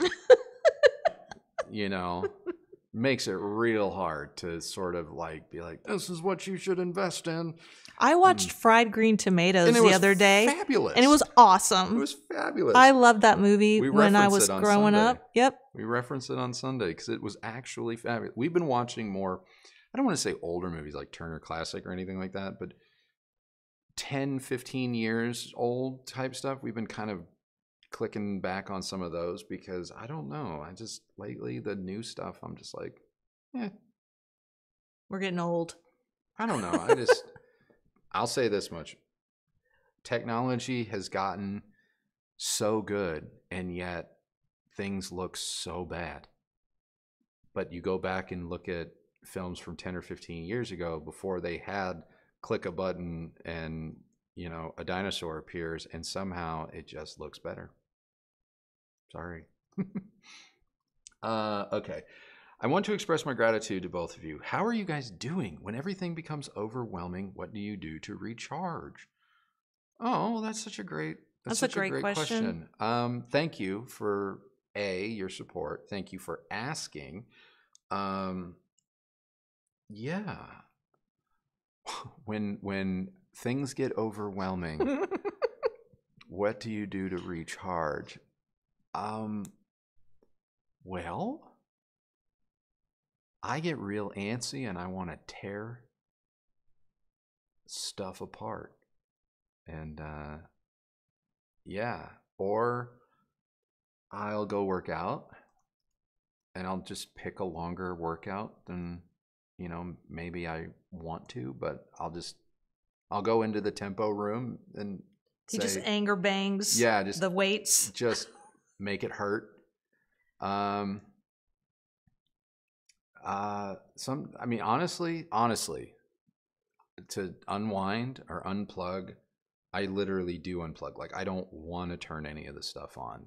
I will just say, we're not going to film today, or I don't want to work on the thing today, and I'll find some trivial task. Like, I'm going to go clean the garage. Um, and it helps. It does. It helps. Um, I work out. you work out. I go on a walk, yeah, or I'll sit outside in my hanging swing chair. and just fall down Pinterest. Yeah, I'd, I'll pin things. Yeah, I pin everything. I like to plan yeah, and organize stuff yeah. uh, and save stuff and listen to music while I'm doing it with Katie. yeah. Um, and I like to uh, go. I like to go on vacation Well, I was gonna say as like, well, or you know, the- even in- short trips. yeah, in the immediate, these are the things we'll do day to day. Um, but if it's like piled up and it's getting like really stressful, um, we'll get the hell out of Dodge. We'll literally jump in the car, you know, go somewhere, um, spend a two, three days, like get a hotel, spend two or three days and just not do this. And that that does wonders. It really does. Like I I often come back going, okay, now I'm ready to, you know, to face it again. Um so yeah, I'm I'm hopeful that when the the backyard project is happening, we had like surveyors here and everything today and we learned that our property is a little bit bigger than we thought. so we've got a couple of new decisions to make. Um, but I think like once that's done, that's going to be very therapeutic and also be another place to kind of go and just unplug, which is why I'm super excited for it.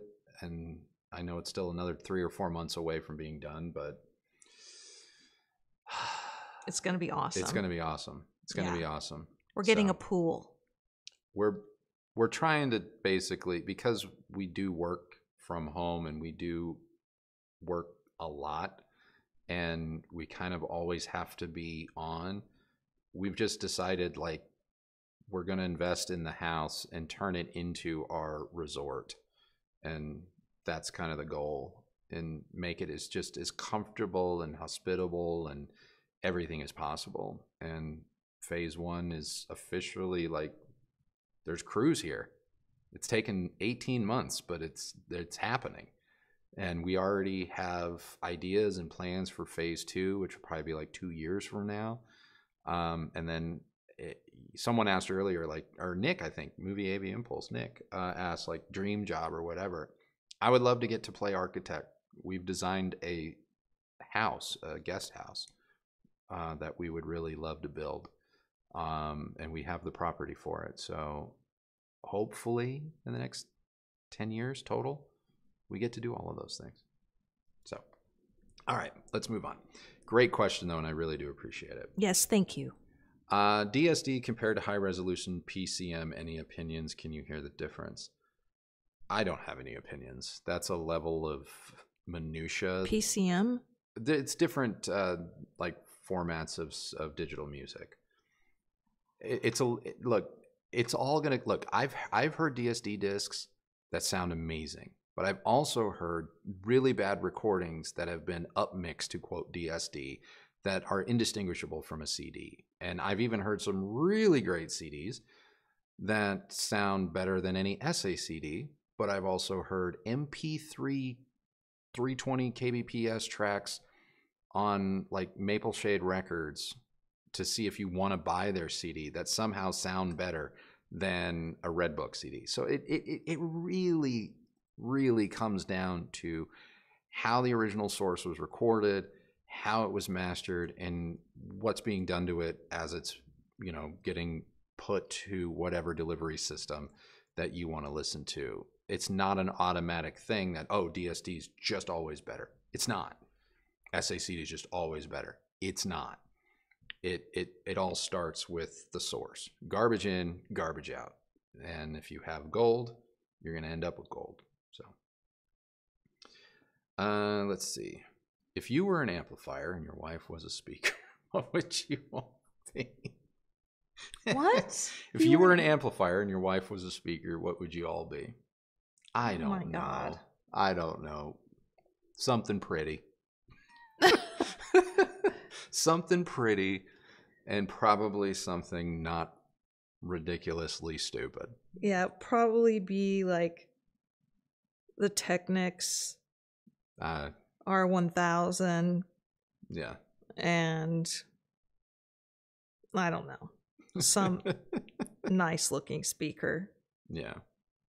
Fun question though. Yeah. That's you know what? You win the award today, uh, Holmes, for in twenty. This will be my twenty third year. No, twenty fourth year in the business because I started in two thousand. This is my twenty fourth year Man, you're old. as an AV journalist, and you have managed to ask me a question that I have never been asked. So, everyone, round of applause for Sir Holmes. All right. Oh my God. Do you need help? More than you realize. I feel like the, has this been a good stream? I I don't I I- I don't know. Like I'm having fun, but I also don't know if I'm being as helpful as I hope I am. I feel like you're a little slow today. Well, thank you. You're welcome. Okay. Well, that means I gotta pick it up. Uh, new guy have uh, SL30 big bookshelf and NHT 2.3 both dad speakers. Big bookshelf versus medium towers. What do you guys pick? What are the SL30s? Um, a big a big bookshelf is gonna to me is gonna be like a Source Point eight or Source Point ten or something like a Linton, where it's Mhm. like it can't sit on the floor by itself, but it might as well should be probably a tower or like a KLH5 or whatever. KLH5. Yeah, Heresies. I'm probably more medium tower just because it's at that point it might actually be a space saving thing and just easier to finagle. But that's not to say that that makes it better or worse. It's just a visual lifestyle kind of ease of living thing. So, uh, oh, holy crap! I am not as behind as I thought. I'm actually caught up. Wow. My new Concept 50s just arrived, and they are awesome. I exclusively exclusively relied on your advice based on my listening preferences, and you nailed it. Thanks so much. That's awesome. That's awesome. Look, and it's not. I I I don't say that's awesome because like I want to pat myself on the back. I just really like it when people are happy with their choices, and I do believe that the Concept 50s are phenomenal speakers, and I'm just glad that uh, they worked out for you. I really, really am. So everyone's saying it's been a fun stream. Like, oh my god, he's old. Wait, what? I've been over here answering. So I, I I have an ability now to make sure that I kind of don't miss any of your all super chats, but that also means that I miss some of this other. I'm old. I said that. I think the person is repeating me. Did you miss it? Wow. wow. oh my god, he's old. I'm dead or something. Are we going to open up an Airbnb, Chris? Um probably not. We've thought about it. We did. we did honestly thought of, thought about it. We even secured the naming rights to a couple of potential things, um, and we even went so far as to have kind of a conversation with a couple of manufacturers about what we might be able to do. Um, I don't know. I don't know. I I don't think the idea is dead. I just don't think Airbnb is the right way to go. But experience ex, ex, experience based uh, trips around hi-fi can be kind of cool, and so it is still something that I'm kicking around.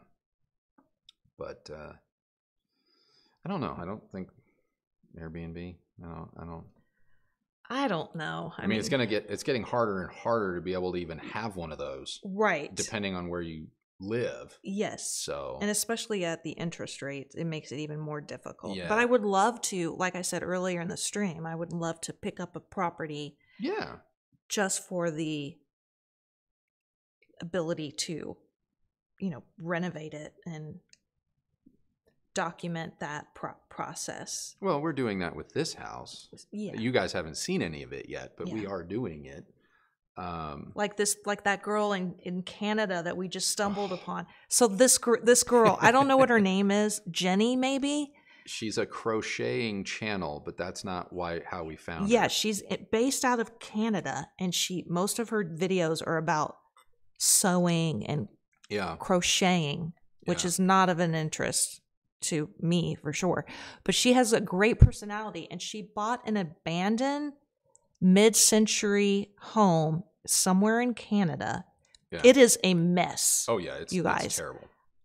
And she's going to renovate it and she's starting to document it on her channel and she has such a fun interesting quirky personality that she's just enjoyable to watch Well, yeah, because it's it's interesting to watch content like that.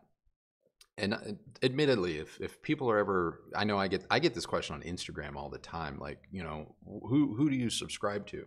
N- no one in like our space.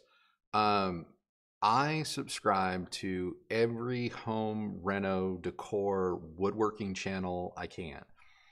Um, and I love it because last night before we started watching the Apple show, hmm and uh, G Papa, I'm, I am going to answer your question. Um, before we started watching the Apple show, we watched Tan France on AD. He's building his new dream house in um, Salt Lake City. Tan France, if you don't know, is from Queer, Queer Eye. Eye, He's from Next in Fashion. hmm Um, he's a he's a designer, but a personality, and he's doing a whole series with Architectural Digest, where they're him and his husband are building uh, a house in in Salt Lake City, and it's not it's not my cup of tea. It's not what I would do. He's doing cho- he's making design choices that I myself wouldn't make, but at the same time, I always love watching designers work. But what was hilarious last night was that we're watching somebody who has cost no object. You know, buying like a two hundred thousand dollar stove. oh man yeah that stove was gorgeous You know, having a custom window engineered and put in, and again, the win- the window's amazing. It's gorgeous. It's it's going to be a very very pretty picture. But then we went from that in our subscription feed to this girl who's probably in her late 20s, mid to late 20s, who has never renovated a house to the best of our knowledge. And just the duality, and this is what I love about YouTube, is that the programming can still be in the genre you like watching, which for me is like home renovation and, and woodworking. But you can literally go from someone that has it at this level to someone who's figuring it out and you can actually learn from both simultaneously and i loved that. Hmm you know i have to admit like i don't the tan videos have been very well produced but i i don't feel like they're as informative or as as engaging as i think they should be whereas her video didn't really inform me too much i mean she's just literally shoveling out carpet that's how abandoned and disgusting this house is. There's mold in it. like and she's they lit her and I'm I think maybe her boyfriend or a mm-hmm. husband literally just grabbing snow shovels and shoveling the carpet off of the subfloor because they're so wet. because it's so wet and degraded and the previous owner had just put cardboard boxes over it flat cardboard over it and just sealed all that oh it was yeah it's it's it's awful but it's fun it's fun but yeah, watch. and the cool part about it is she like for real, it's an abandoned house, so everything that belonged to whoever was once the There. owner yeah was still there. So all of this mid-century furniture furniture, a piano, a baby, she, a, ha- she has a grand Kawai piano, an original, like the old naming structure. She doesn't know anything about pianos, and she's like, "Hey, if anyone knows anything about pianos, let me know in the comments." And she's taking a picture of the insides, and I'm like, "It's a oh, it's a vintage Kawai from like 1960." Oh, oh. Oh, and she's like, I, it's like Hawaii with a K, and I'm like, it's Hawaii. anyway, um, yeah, it's been fun, and like, uh, was it Blacktail Woodworking? Like his channel, I, I don't particularly like his furniture that he makes isn't for me. He makes everything like epoxy tables and whatnot, but he's so much fun to watch. it's and because you like him because he trolls his he trolls his audience His- so yeah. hard. So he definitely gets, uh, and I mean, if you have a YouTube channel, this just comes with the territory. There are Yeah. people that just like to poke, you know, like there was some jackass on here earlier that was like, Have you had a facelift? And, you know, yeah. Someone asked if I had Yeah. a facelift. yes, yes. Not They that there's anything wrong. they with- created the channel today just to be, you know, jerk or whatever. Um, so anyway, comes with the territory. Yeah, but this guy, he basically pokes at people like that Yeah. on as in all of his voiceovers because it's kind of like a ASMR Mhm. channel where he's just like planing wood and stuff and whatever. I don't really particularly like to watch it, but I do get a giggle out of it when he's, you know, um, pushing back at the real uh, woodworkers that oh, I've gone apparently tell him what time it is on I've the gone in reg. his comments too, and I'm just like, wow, it every every genre.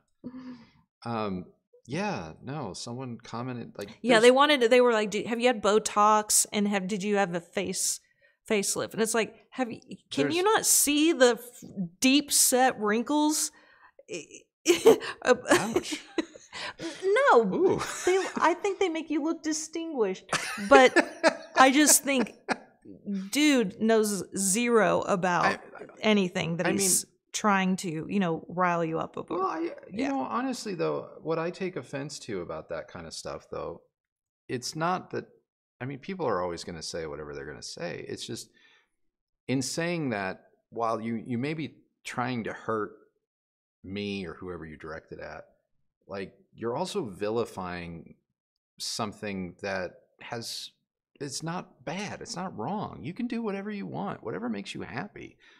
Like this whole notion, like getting a facelift or Botox or coloring your hair, or in my case, using hair growth products because I didn't want to go bald. Like, Thanks to our sponsor Keeps. like not intentional, but yeah. And it's like there's nothing wrong with that. There's absolutely nothing wrong with that. And you know, someone someone also commented like Andrew's picking at his beard. He looks nervous. No, my beard itches. it's just it's at this length, and anyone that's ever grown a beard will understand. When it's coming in, it's too scratchy if you have a partner and you want to kiss him or her like it gets too scratchy. Then it gets long enough where it doesn't bother them. And that's the butter zone. And then it comes out of the butter zone and it's not long enough that it's like cool and in in hipster rock star. It's just but it's not short enough either and it gets itchy. And that's it. I just haven't shaved it down because the last time I shaved it down, you would have thought that I grew a nipple in the center of my forehead. Like seriously.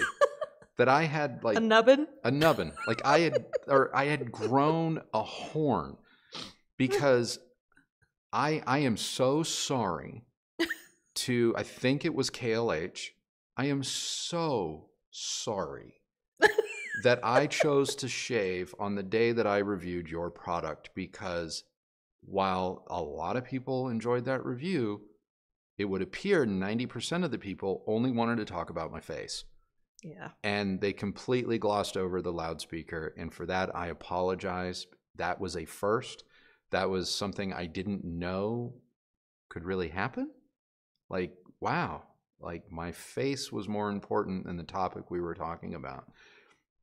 Um, but yeah, yeah, I, I really, uh, the one of the things I don't like about my job is is how is is how easy it is for people to forget that we're all just human beings you know?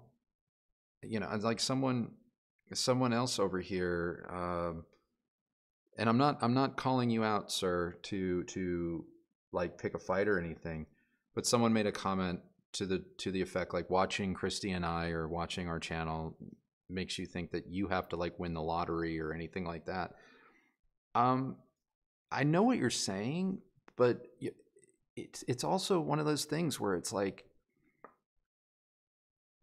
you you don't see a lot of people, not you specifically, but just a lot of people, especially when you're a personality, whether it's YouTube or your Tan France or or whatever, like there's a lot of work that goes into it. And in our case, while we may be talking about how we want to turn our house into a resort and all of that, like we have literally spent every spare moment we've had for almost three years saving, planning, and getting things in an order so that we can do this one thing.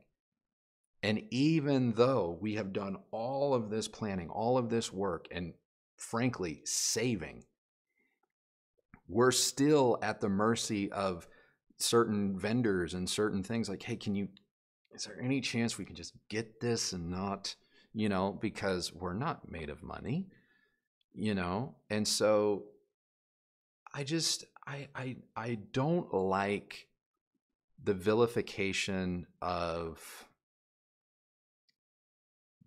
like things that you think you can't have so if you don't think you can have it vilify it. You know, if someone doesn't look their age, they must have done something. I am, I mean, admittedly, I will say this admittedly, I am going to greater lengths to take care of myself as I've gotten older, um, especially in the last two years. I have dramatically changed my lifestyle. Um, I exercise daily and not like oh i go for a walk. Like no like i'm on a routine and i don't have a trainer but we have a machine that acts as a trainer. Um, and i do that every day. I i use face products like lotions because that's not something that was ever taught to me in my teens and 20s and 30s and yeah. Yeah now that i'm 43 43 years old, I um I don't want to look like a crocodile uh before I have to. You know, before I have to. I don't want skin cancer. I don't want, you know, that. Um well yeah, and then people accuse or you know, throw the term out vain, you're so vain and it's like what's wrong with that? It's it, for me. It's not. I mean, to be to be. I don't want to interrupt you, but yeah. for me, it's not a vanity thing at all. It is a health thing. And what people, some of you watching this, who have followed me and have have known known me for more than say this year or the year before, since the kind of growth of the YouTube channel, you know what I've been through. Like you know it's not vanity. You know that it's health, you know? And I'm sorry, like the older I get, the more I realize that I, I, I've I've had enough experiences where I I feel like every day I wake up I'm on borrowed time. You know? And so I just want to stick around as long as I can. And part of that is taking care of your body, taking care of the shell that you have as well as what it protects and you know upstairs and here and all of that stuff. And so yeah, it just it it bugs me. It bugs me when people try and take something that honestly we should not be vilifying. We should not be vilifying wanting to save money to better your circumstances. And if someone manages to do that and betters their circumstances, we should not try and tear them down. We should go, is that what you set out to do? Did you accomplish it? Did it do the thing you hoped it would for you? Yes. Hi, mother F and five, because that's all that matters. Were you unhealthy? Did you get healthier? Yes. Hi, mother F and five. You know, that's all that matters. And I don't care what form it takes, you know? And I just, I don't know. I don't know. I just, there's this, this undercurrent of cynicism and anger, you know? And it, it's worse online, but it doesn't make any sense to me. It just Yeah, doesn't. really make, It doesn't doesn't. make any sense to me. It seems, it, to me, it sounds like it comes, often it sounds like it comes from a place of jealousy and, and envy, Mm. Which makes, I mean, it's understandable, but it's like being upset that your friend has success. Like, what what good does that do? You know, like, can you not just look at someone else and be and be happy for them? You know, Yeah. or if it's not something that is in, of interest to you, hmm like maybe maybe you're into obviously you guys are watching you're obviously into hi-fi and home theater hmm you know just think about how maybe when other people have looked at the fact that maybe you spent a significant ap- amount of money on a pair of speakers hmm you know and they look at you like you're crazy and how did that make you feel you know so don't turn around and do it to somebody else because maybe their passion you know their passion is who knows Yeah. um, buying a car that makes them happy. Yeah, and yeah, I I know I got off on a little tangent, and we have had a couple of uh, questions here, and I do I want to make sure that I I answer everybody. Um, but yeah, I I just clicked over to the the the, the bigger chat, and you know, people, he's so old. I was like, what? No, they were I, they were just basically repeating what I said, and I was just kidding. I Oh. think I love him, and I think he's super handsome. Um, permit me a 30 second side, one more 30 second sidebar. Um,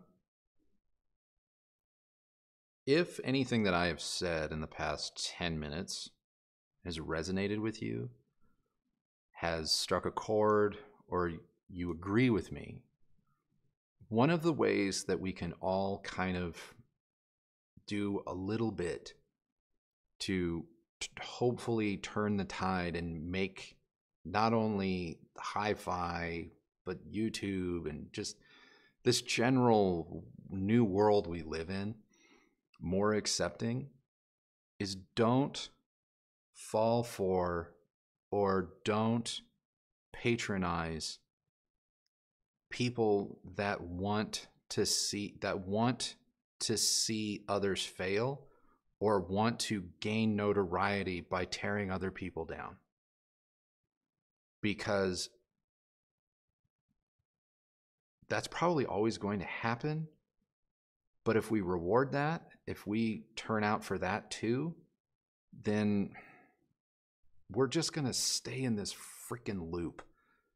And I fear it's only going to get worse, not better. So, anyway, uh, G Papa, your question's been on the screen for like 15 minutes. Uh, since you love and also studied films, I wondered what your five most influential favorite filmmakers of all time five Hollywood, five international, and why. Also, any new upcoming filmmakers you like. Uh, boy, um,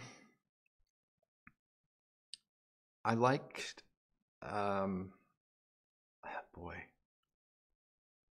the most influential filmmakers to me are probably not the usual. I mean, some of them probably are the usual, but uh, you know how everyone's like, "Oh, Coppola, Spielberg, and stuff like that," and they're they're they're great. I liked Kazan back in the '50s. I liked Kazan a lot. His films were always really great. Um, there was a I don't I, I loved genres of films, but so like I love film noir and you know obviously Hitchcock played in that vein, but I just love the genre, and so that genre is very uh, influential for me, more so than maybe individual names. Um, uh, David Fincher has been a huge influence in in my just general creative career. Um, he he had already somewhat been established in the commercial realm when I had entered into college, and he did not go. Uh, he did not go to school where I went to school, but he um, he ended up working for a studio or a commercial firm called Propaganda, and Propaganda had um, inroads to where I went to school, and so it was through Propaganda and Art Center at that time. This is you know late '90s, early 2000s. So like we were all in the sort of new blockbuster commercial era of of filmmakers and you know admittedly when you're 19 years old and stuff like I, I liked the older directors, but I really liked the new crop. And so I was very inspired and influenced by people like David Fincher. I spent time with Michael Bay and, you know, say what you want about him. I, you know, you can have whatever, you can think whatever you want about his, about his films, but I learned a lot from, from him. Um, but on the flip side, like getting to meet filmmakers in my job when I used to do movie posters and trailers and stuff like that, and getting to meet some of the more independent uh, filmmakers, you know, like the people behind Juno and and stuff like that. Like that was really that was really rewarding as well. But I don't know, like if I have like five, you know, whatever, um, up and coming I don't know if she's up and coming anymore. I think she's she's been arrived for a while, but I I think uh, what's her face um, Barbie. Oh, Greta. Greta Gerwig has Gerwig? been doing really really great stuff. Um, I don't even think Barbie's all that great, but I also think that you know the film. Did she do? She did no. She did Lady Bird. Lady Bird was fantastic, no, the other female director that did well, she did the the uh, Darling movie, but the one before that. Um, Don't yeah, worry, darling. Don't worry, darling. But the one before that with the two teenage girls in high school. Oh, um, uh, Booksmart. Booksmart, yeah. That uh, I thought that was Olivia. What's her face? Olivia Wilde is the yeah. director. Like I think that Olivia Wilde is actually a really, really good director. Um, you divorce yourself from the personal whatever, but I I think she's actually really really good. Um yeah, the the the the per the creative team behind the creator, I know they did Rogue One. Um they're fantastic. Um but yeah, I don't know. I I just I just like good stories. Like I really you know, like I can sit there and say, like, hey, Christopher Nolan knows how to craft a good movie. Do I go out of my way to watch Christopher Nolan movies? No, I really don't.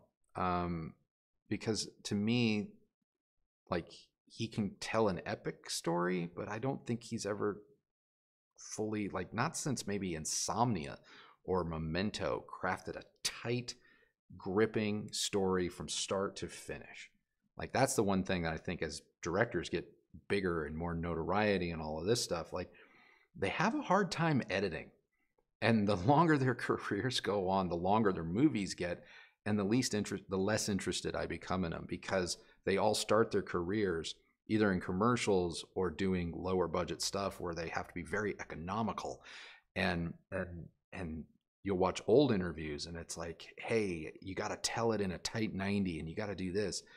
Then you fast forward 30 years in their career, and they're the same directors saying that you know audiences should just suck it up and bring a bucket or something because you're going to keep them in their seats for four hours or five hours and it's like come on so i digress uh, Glenn, can a Blu-ray player play SACD disc? It's really going to depend on the Blu-ray player. Some can, some don't. Um, the easiest way to tell, uh, either you know Google it or whatnot, but if you're like in a secondhand store, um, you know, uh, just look at the NASCAR logos. If you see the if you see the the the emblem on the top, you're good to go. What Steely Dan song would you listen to for testing speakers? None. None. Um, nothing against Steely Dan. nothing against Steely Dan. But um, I uh, I once did some work for uh, Emotiva. This was years ago, so it's not a conflict of interest. This was like well over 10 years ago. And uh, that was like the only record that, uh, or no, no, it was Dire Straits. Sorry, it was, oh man, it was Dire Straits. Uh, it was just on loop. So Steely Dan, I don't know. Dire Straits, nothing. uh, Dan B, since upgrading a Yamaha since upgrading a Yamaha WXC50 with a FiiO R7, I've been struck struck by the improvement. As a lifelong vinyl listener, I'm using my turntable very rarely. It seems like digital has eclipsed vinyl thoughts. I, I, I would argue digital eclipsed vinyl a long time ago. Um, does vinyl sound different than digital? Sure, absolutely it does. But is did is vinyl as good a quality as what digital can do if done correctly? I mean, objectively, no. Uh, that doesn't mean that personal taste doesn't come into it and all of this, but I I listen to digital or streaming music 98% of the time, despite having multiple record players and records. I, I think digital has eclipsed vinyl and did a long time ago. I still like vinyl, but digital eclipsed it. Can we expect a Cinema 30 review one day? Um, I mean, I don't know. Maybe. I, I haven't requested it, but if I were to ask for it, I'm sure they would send it. Um, I. Oh wait, wait, wait, wait, wait, whoa, whoa, whoa, whoa, whoa, whoa, whoa, whoa, whoa, whoa! Oh man, sorry. I was thinking of a different product. Cinema 30 receiver. Yes, you should expect it. I don't know if it's like soon, soon. Did yes, that just? It just came out. It was announced. It was. It was announced, and yeah, no, it's. It will happen. It will happen. We didn't We're get a still press. Wait, we no, we we we got notified. We got notified. We did. Okay. Yes, we got notified. Marantz is very good. Um, we're still waiting on our Denon a1H. Yeah. Um, that's one I want to do. I want to make sure that I have the A1H here and the Cinema 30 here at the same time. And we're still waiting on our A1H. So that's where that's where things are with that. I'm sorry, I was thinking of a different Marantz product. And so yeah, no, you can expect a Cinema 30 one day. Yes. Oh, the Wicked Plumber just gifted memberships. Thank you so much.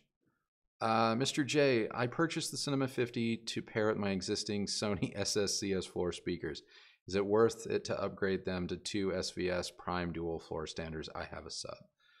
Um, yeah, I mean, I can't really answer this question without like my own personal biases, I guess, getting involved. But I personally, me, in every test and experience that I've had. Like I don't personally uh, gravitate towards the SSCS line. It's not a speaker that I like for me. Um, do I think the upgrade being the SVS Prime Dual better? I would say the SVS are probably going to be a better speaker. Um, would I go from the Sony to the SVS Prime Dual? I don't know that I would, but that's just me. That's just me. I'm I've had experiences with both of those speakers and I can appreciate them on different levels. Um, it's just not a sound that I particularly go for. Um, but I do think if you have a Cinema 50, your Sony's are not, I mean, it's driving your Sony's just fine. You're hearing everything that that speaker can do. Um, but your Cinema 50 can do more than what I believe the Sony's will give you. So anything that might be a little step up from that will likely pay dividends uh, in the enjoyment factor. I would check out the Kindle 2F. Yeah, a great speaker from yeah. KLH. KLH Kindle 2F, made in Canada. Uh, share some basic design philosophies in designing a listening and viewing space. I saw that you're undergoing some new changes in yours. Wishbone, I, I plan to. Can we? Can I not? Can I? Can I do that in a video? Because it's already in progress. I don't want to give too much away. Yes, if you follow me on Instagram, uh, you may have noticed one or two stories in the past couple of days uh, where I have taken a sledgehammer to our room. Um, there's a video in the works that will kind of go into room design and that the current room design isn't even a final room design it's like an intermediate room design because we're still trying to figure out what the hell we want to do so but but um, i think it's going to be a couple weeks two three weeks before that video comes out anyway but um, if you're looking for rental friendly solutions, what we've now done, very rental friendly and wicked affordable. Wicked affordable because we did it all DIY. Um, nothing against uh, room acoustics and you know companies like that and whatnot, but that that stuff adds up. And knowing that we needed to get rid of stuff, but we also still needed to function. But we also know that this may not be the final final we were trying to find a solution that worked that was going to uh, do what we needed to do, look really good, and I think we found it. And I'm really excited to share that with you because um, I know some of you will probably dig this a lot. Um, inevitably, some people will be like, "I like the old room better." I get it. We're going to go over why the old room worked, but ultimately didn't work. So stay tuned for that. Um, okay. Uh, Lisa, I think Lisa, your question is going to close us out. Thank you for these fun monthly live streams. I I can't thank you guys enough for participating in them with us. I I, I love doing them. I really do. Um, Wishbone, I know you're over the wood slat look, so I expected it to go. Oh, it's gone. It's gone. Um, you won't you won't see it you won't notice that it's gone for several weeks, but uh, it's gone. Um, anything, anything like, like little last minute stuff here uh, that I'm just catching now that I've changed my filter. Uh, I'm loving the gifted memberships. I really appreciate that. Mm-hmm. Thank you guys so much. Um, oh, you guys are doing great. You guys are um, yeah, there's a question why do reviewers think the Anthem AVM 90 sounds better than, Marantz, than the Marantz AV10? And not that I think you need to answer that question or the, about those products specifically, mm-hmm. but I think it would be nice to, to address like why do reviewers come away with different experiences? I mean, it's kind of obvious to me. It's just the same way that you um, I'm not sure what your username is mm-hmm. supposed to be, but the one that's on the screen. Like, mm-hmm. Why do you prefer something over something else? You know, your room could be a factor, your listening preferences, your gear that you're using to power mm-hmm. your. I mean, yeah, any you know, or, any number of things. Um, can also just be like what, as a reviewer, you have access to. Um, why why do reviewers think the anthem sounds better? I mean, yeah, that I don't I know. care about Andrew's inputs here. I care about Andrew's. Cool. I care about that. That's that's kind of rude. That's kind of rude, dude. Um, I was actually going to say that along the lines of what Kristi said, I think some of the f- reasons behind it are really summed up nicely. Dennis Burger wrote an article recently. Dennis, full disclosure, uh, Dennis and I used to work together uh, on another publication years and years and years ago. Um, but Dennis wrote an article, and I don't know who he's working for at this point. Um, but he was, it's basically the needs of a reviewer versus the needs of an individual. And he talks about how if he wasn't a reviewer, his choices would be likely radically different. For example, he personally would probably buy KEF LS60s. But as a reviewer, that would limit his ability to do 90% of his job, despite those being like his favorite speakers right now. And so I think it might come down to just like that simple. Like the anthem may enable some reviewers to do more aspects of their job. It may also be more advent. It may just be more readily available to them, depending on where they are, compared to Marantz. I, I don't. I don't know. I don't know. Um, I I just I think I don't think the anthem rides a hype wave. I'll say that much. I I I I I, do think that when people tend to gravitate towards an anthem product, it's probably somewhat justifiable and a little less hype related just because Anthem's still a little bit more boutiquey than mass market. And in my experience, I find Anthem products to sound exceptional.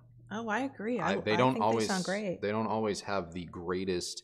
I mean, I have a very limited experience with them, but I have liked what we've. I mean, I, had. I I've I've I've listened to Anthem products before they were Anthem when they were back in when you know they were Sonic Frontiers and then they became Anthem and and stuff. And so they they make a good product. I had a D2V processor for phew, 8 years.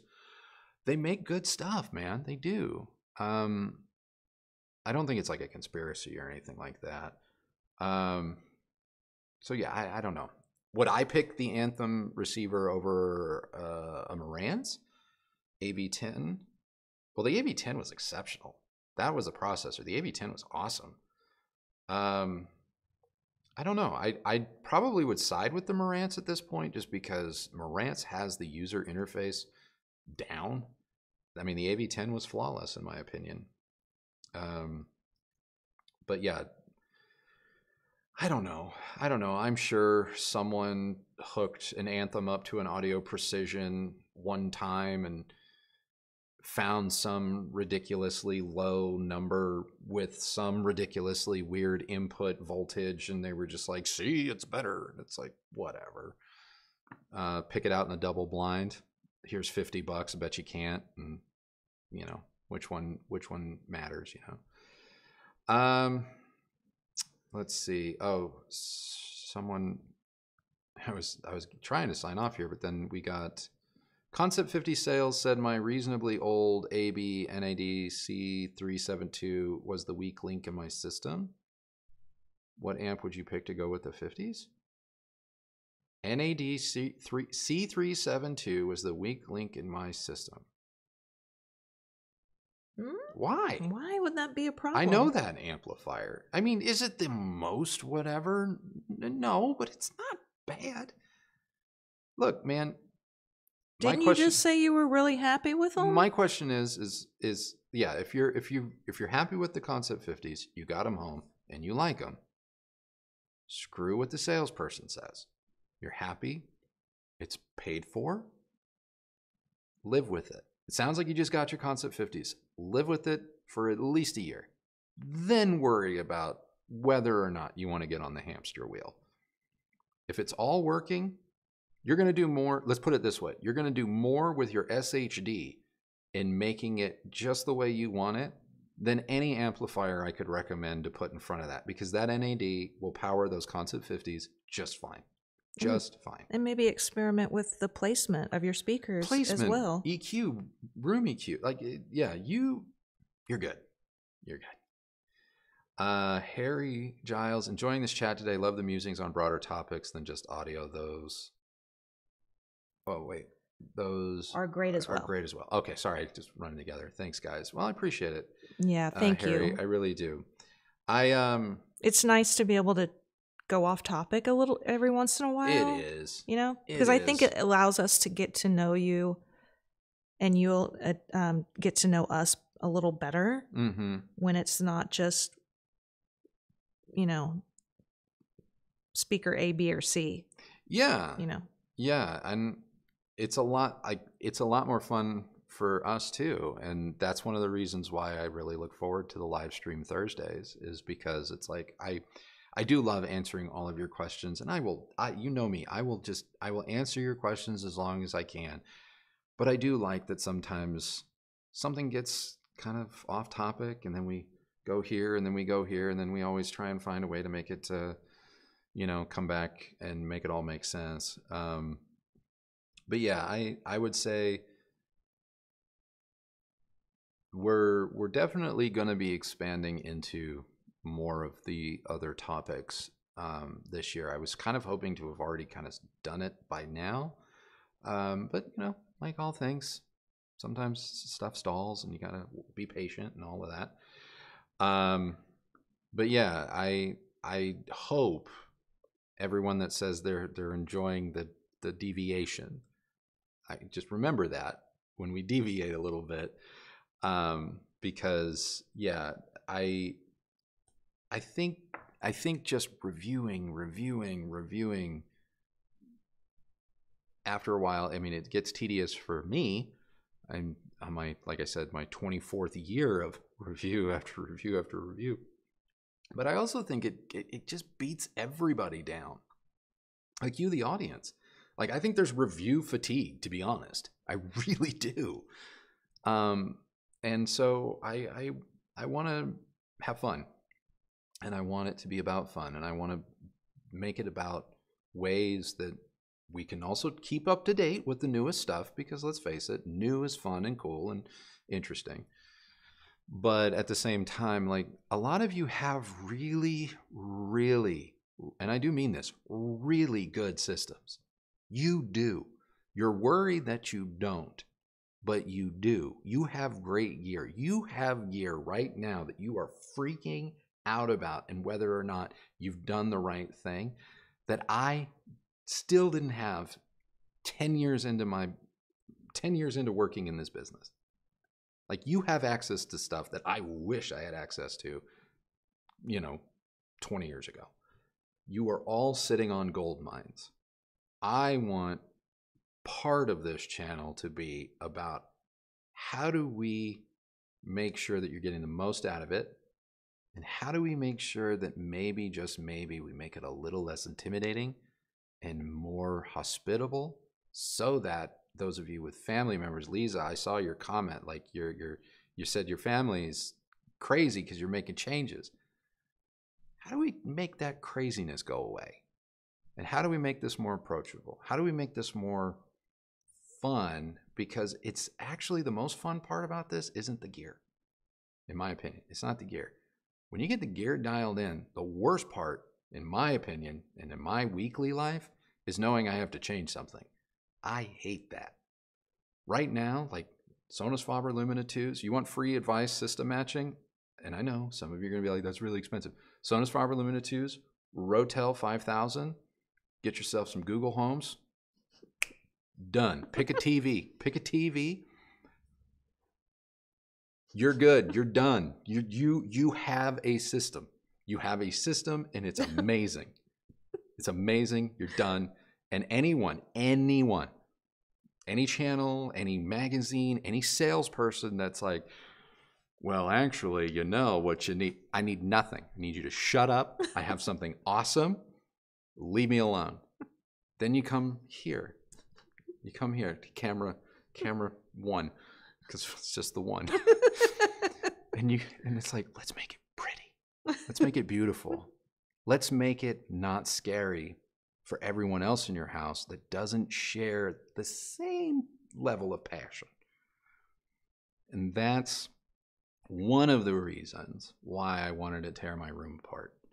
And another reason why we're going to take some of this outside. And another reason why we're going to take some of this into the kitchen. And we're going to take it all over the place because I actually don't sit right there and just listen all that often. I'm doing stuff. So let's let's do stuff. Let's do stuff. I mean, you do sit there a lot when you're evaluating. I mean, yes, when I'm when I'm Just evaluating to be clear. yeah, and I got my separate I have like three different sound meters and I'm just like this and I'm checking this and I'm checking that. But like if someone's like, "Hey Andrew, I just want to come and hang out with you and just what's your day like what's a day off like?" I'd be like, "Well, it's not a full day, but if you want to come experience my 4 hours off, um I I have a lot more fun thinking about ways to improve everyday things, you know? Like one of the videos that I'm working on is like the 10 like 10 of my biggest hacks for a system and I guarantee you they're not what you're thinking. And one of them one of them just got here. I'm going to get buried with that thing. Uh we this is this is a tool we got for our lives and life hack unlocked. Um, but yeah, I we're gonna have some fun. We're gonna have some some fun. I think you have two more uh, super chats. Uh, do I? Okay. Um, let me make sure. Two more super chats. Uh, Harry, yes. Steph, uh, Steven, Stefan, thank you so much. Uh, which sounds better to you, Arc, Genesis, or Dirac? I would like to get both of your opinions.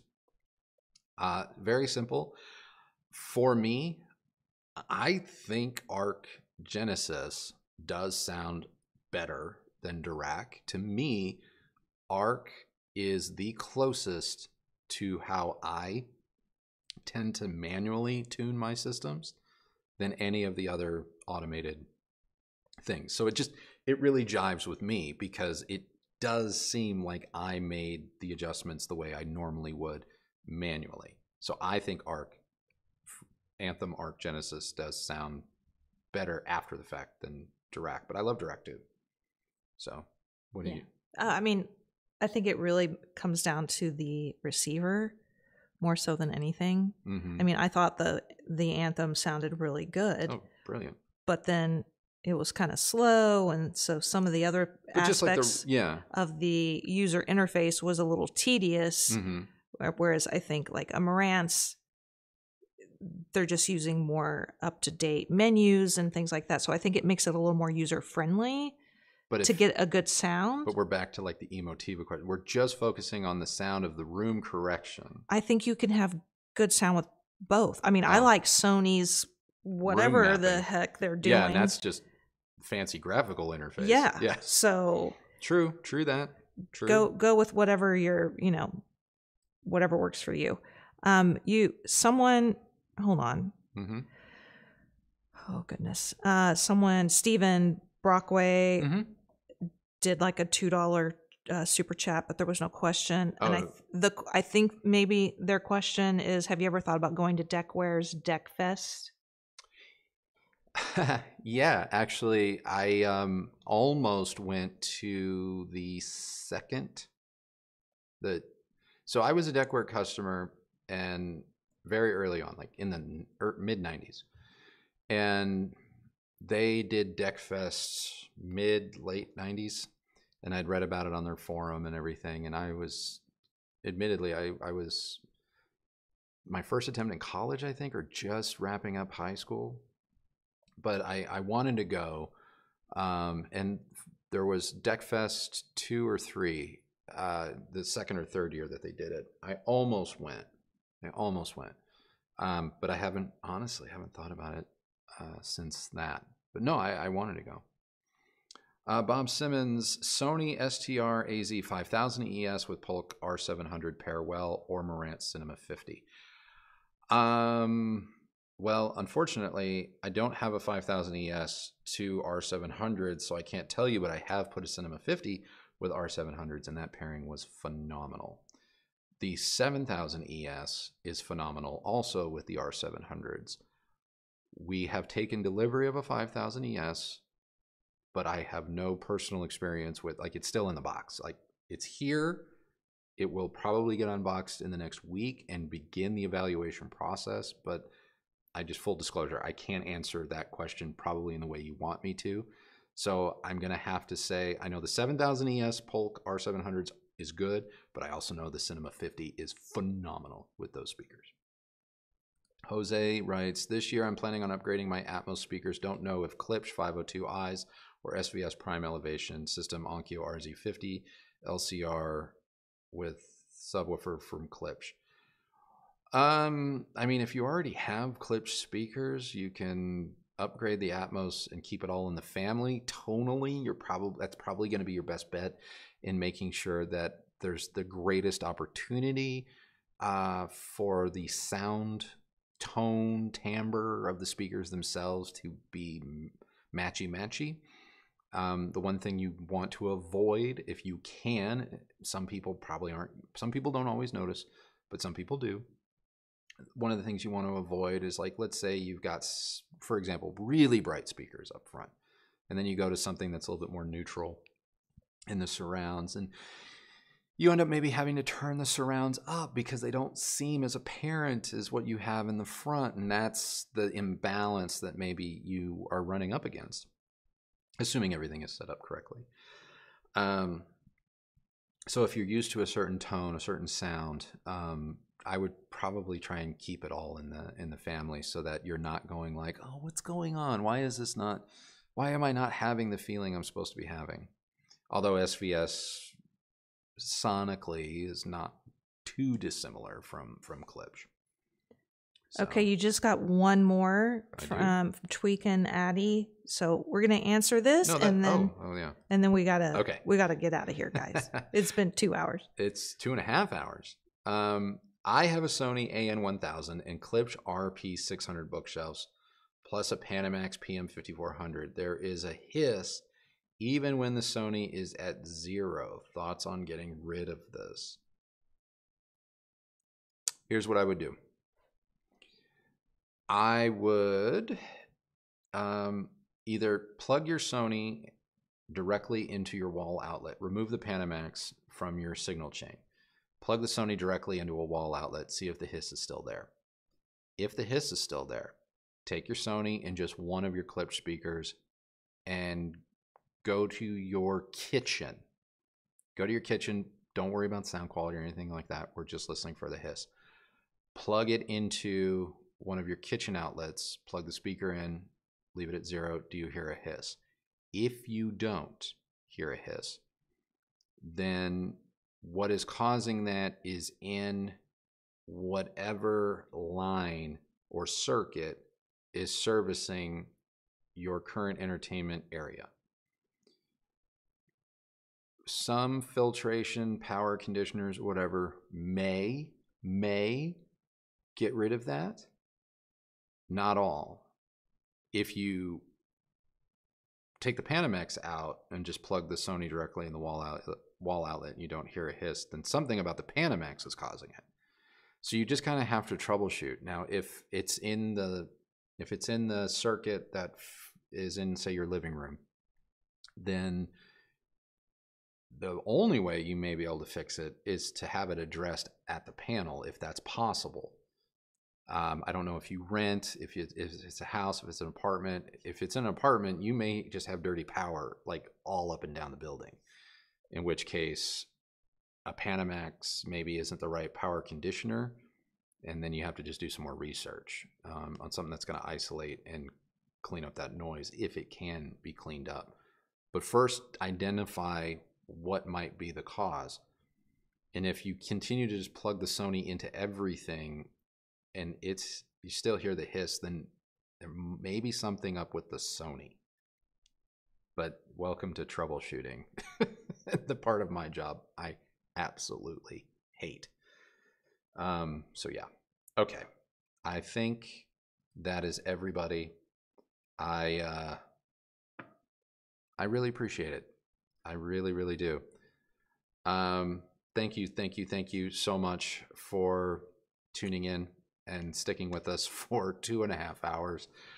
I uh, hope it was fun. I, I'm I apologize if I was a little slow, not as engaging, not as fine, funny. Um, but uh, yeah, I, I thank you so so much. Um, so yeah, that wraps up another fun third Thursday of the month live stream. Um, I hope you'll join us next month, where I'm sure we'll have way more to talk about. I might even have some photos and video updates of what's going on out there, uh, maybe to show you. I don't know. They say in a month's time, we should have some stuff up, built. I think um, it's going to be a lot of dirt. There's going to be a lot of dirt for a while. There's already a lot of dirt, honey. Yeah. Nothing like clearing a lot, thinking you're going to start three months ago and uh, just staring at dirt. Anyway, I digress. It's just because I love hanging out with you guys. I do. I'm stalling. I'm stalling. It's five o'clock. It's happy hour. I'm going to have, you know what I'm going to do? And you're welcome to join me in spirit. We're You're gonna, adorable. We're gonna log off here. I'm gonna go into the kitchen. I'm gonna make some salt, uh, water crackers, a little bit of brie, and honeycomb, and and and caprese or whatever. salami. Yeah, mm, yeah. We're gonna make a little couple of little finger sandwiches.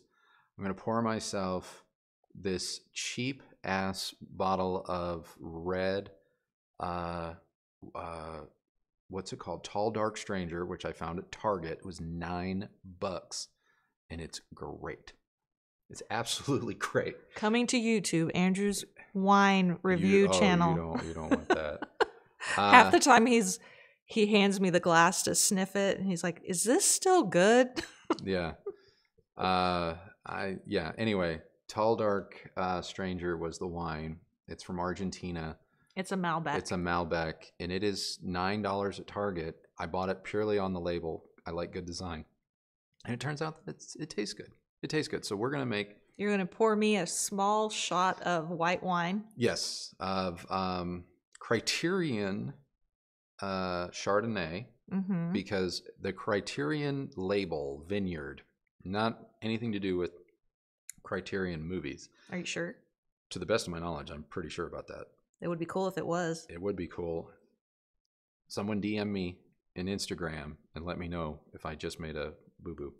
Um, but yeah, if you're if you're into wines but you don't want to go broke, Criterion, their entire label is pretty rock solid. I mean, they do have some expensive stuff, but their fourteen to twenty four dollar bottles of just about everything are every bit as good as their forty and fifty dollar bottles of the same stuff, um, in my opinion. So uh, check them out. Uh, yeah. So there you go. We're gonna make some brie and have a little red wine and enjoy the rest of our evening. And I hope and want the same for you. So that's it. Thank you so much for watching. As always, the only person who has to like the sound of your system or your purchasing decisions or your television or your room or anything you want to do with your hair, your face, your, face, your clothing, just your life is you and maybe your partner. but that's about it. Everyone else, you have my permission to just like you bet. You bet. you bet. Or as uh what's her face said, I don't know who what's her face is, but there was a young girl who had the perfect the perfect retort to everyone that hates die mad. oh my god, who was that? I don't know, but a bunch of people came for her and she was just living her best life and she's like die mad. so, we don't want anyone to die, but god. But it was it was Someone's going to Yeah. oh yeah, this. no, I that's can't wait for the the remixes on that. Oh boy. Anyway, guys, I, I, it's been fun, and oh boy. I do I do love this, and thank you for thank you for making this job and this life that Kristi and I get to have uh, with you all uh, possible. yeah, we do appreciate it. So thank you, thank you, thank you. I can't wait to swim. I can't wait to just show you what we have been working on tirelessly for years. Really, like I can't tell you how hard it's been not to share like the renderings that we've the various renderings that we've created and I've like all these plans where it's like like this one over here and yours truly like we taught ourselves like drafting software because we couldn't find anyone that would do it the way we wanted to do oh, it. Oh, I designed a whole, we designed a whole house. I know. And so it's going to be really fun, even on the, the room side, where it's like, here's the various versions of the room that we created in 3D modeling, and then here's how it actually coinc- coincides. So, anyway, anyway, again, all coming. Thank you so much. Love you all. And we will see you on Sunday for a brand new video. Bye. Thanks everyone for joining us. Thank you.